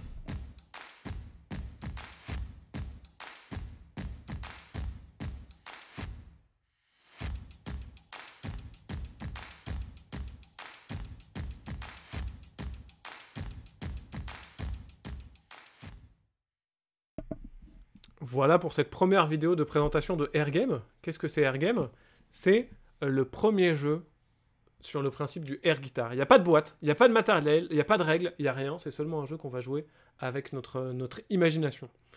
Euh, donc euh, la page explique très très bien. 100% des acheteurs du Air Game recevront un air email de remerciement. L'intégralité de la somme récoltée sera reversée à l'association Accessi Jeux. Accessi Jeux, on en a parlé plein de fois ici, hein, mais on les aime d'amour. C'est une, une ludothèque dont l'un des boulots euh, est de travailler sur les jeux. Majestic Game les dit tout de suite, c'est parfait. Euh, dont un des boulots est de euh, rendre les jeux accessibles pour les déficients visuels. Donc ils travaillent sur des adaptations de jeux. C'est vraiment une, des gens qui sont importants dans le jeu de société, qui sont adorables. Et, Ben est là pour dire qu'il m'aime aussi. Mais vraiment, c'est des gens qui font énormément pour le jeu de société contemporain, qui le font très bien, avec beaucoup d'humour, beaucoup de sympathie. Euh, et donc l'idée, c'est que, euh, sous l'initiative de Léo Blandin, euh, de Chèvre Édition, il a monté cette campagne de Air Game, accompagnée par pas mal de monde, pour qu'il y ait plein d'auteurs et d'autrices qui proposent de créer des air-jeux. Donc il y a un ludochrono que vous pouvez regarder, il y a une présentation avec des avis. Ah, j'ai pas tout vu, il y a l'unboxing qu'on vient de voir. Euh, il y a les auteurs qui parlent des jeux et vous pouvez voir les vidéos de tous les auteurs et les autrices qui ont créé, effectivement, il y a Bruno Catala qui, qui ont proposé du, du air game. Je peux vous montrer la mienne pour, euh, parce que bon, bah, vous êtes là avec moi, donc j'ai envie de vous montrer la mienne en premier, sans vouloir, euh, et parce qu'elle est assez ridicule, donc c'est un plaisir de vous montrer. Ah, rien que de voir ma tête, je suis déjà un peu gêné, pardon.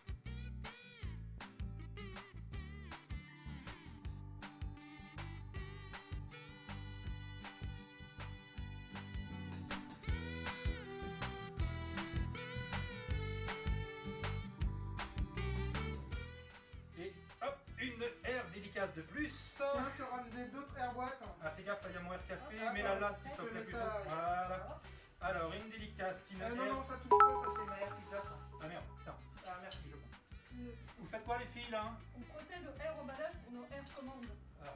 Et euh, c'est pour qui cela Pour Hervé.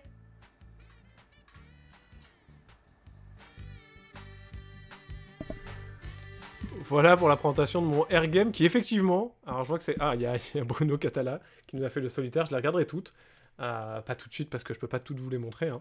Euh, Il y en a plein, n'hésitez pas. Bon, ça se relance. Ah on a tout de suite Bruno Catala qui arrive, mais je vais pas vous la mettre.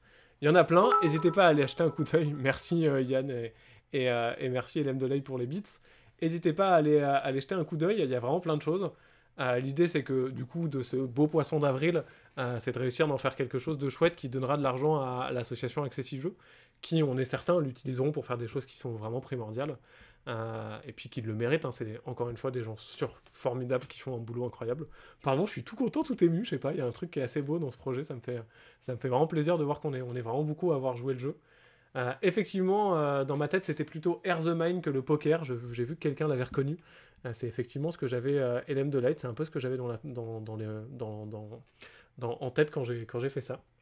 Et effectivement, mon pagnon, j'ai déjà une, j'ai déjà, j'ai une assez belle collection de, de mangas. On n'en volait qu'une partie, mais j'ai pas mal de, comics et de mangas à la maison. Euh, mais voilà, en tout cas, c'est, euh, n'hésitez pas à acheter un coup d'œil. Euh, moi, je vais très très clairement leur donner des sous euh, après ma, ma réunion, ça me, ça me paraît normal. Euh, N'hésitez pas à leur en donner un maximum. Je, veux que les compteurs pètent. Euh, on veut tous que les compteurs, tous et toutes que les compteurs pètent. Ils le méritent vraiment très très fort. Euh, c'est un, un beau projet, la blague est drôle. Ça a bien été porté par plein de gens. Donc, euh, donc je vous remets le lien. N'hésitez pas à aller jeter un coup d'œil. Euh, N'hésitez pas à aller leur donner un peu de sous, beaucoup de sous, moyen de sous en fonction de ce que vous avez. Euh, c'est une association, euh, Patrice, c'est une association qui est en France pour le coup, effectivement, la ludothèque est française, mais ils vendent également les jeux qu'ils ont adaptés. Si jamais on a envie d'acheter un jeu, et là ils bossent sur une version adaptée de Mo, de Bruno Catala. Le, les protège cartes c'est du 63,88, mais du R63,88. Euh, vraiment, ça vaut le. Pardon, donc euh, Patrice, ils vendent les jeux et les jeux sont achetables. Donc, euh, si jamais tu as des personnes qui sont déficientes visuelles dans ton entourage et que tu veux leur acheter un jeu, euh, hésite pas, il y a moyen de faire ça pour que derrière ils puissent jouer plus sereinement. Donc vraiment, allez jeter un coup d'œil. Moi, je vais partager ça un peu sur tous les réseaux, un peu toute la journée, euh, parce que euh, j'espère que ce compteur qui est déjà à 106 euros, euh, ce qui est pas mal, mais, mais j'espère que ça va faire, aller, rêvons au moins, au moins 10, euh, 10 fois plus, quoi. Ça serait pas mal. J'ai envie que ça défonce tout, ça le mérite. Et, puis, et puis voilà. D'ici là, effectivement, je vais vous laisser parce que j'ai ma réunion de 11h30 et je n'ai pas le droit d'être en retard. Ça serait une mauvaise chose en tout cas. Merci à tous et à toutes. Des gros bisous. Euh, passez tous, une, tous et toutes une très bonne journée. Si jamais vous étiez nouveau, n'hésitez pas à me suivre sur cette chaîne si vous êtes là en Soum Soum. N'hésitez pas de l'autre côté à jeter un coup d'œil sur ma page Twitter et ma page Instagram. Je suis pas trop actif en ce moment parce que j'ai plein de boulot, mais dans l'absolu, j'essaie d'être actif euh, régulièrement.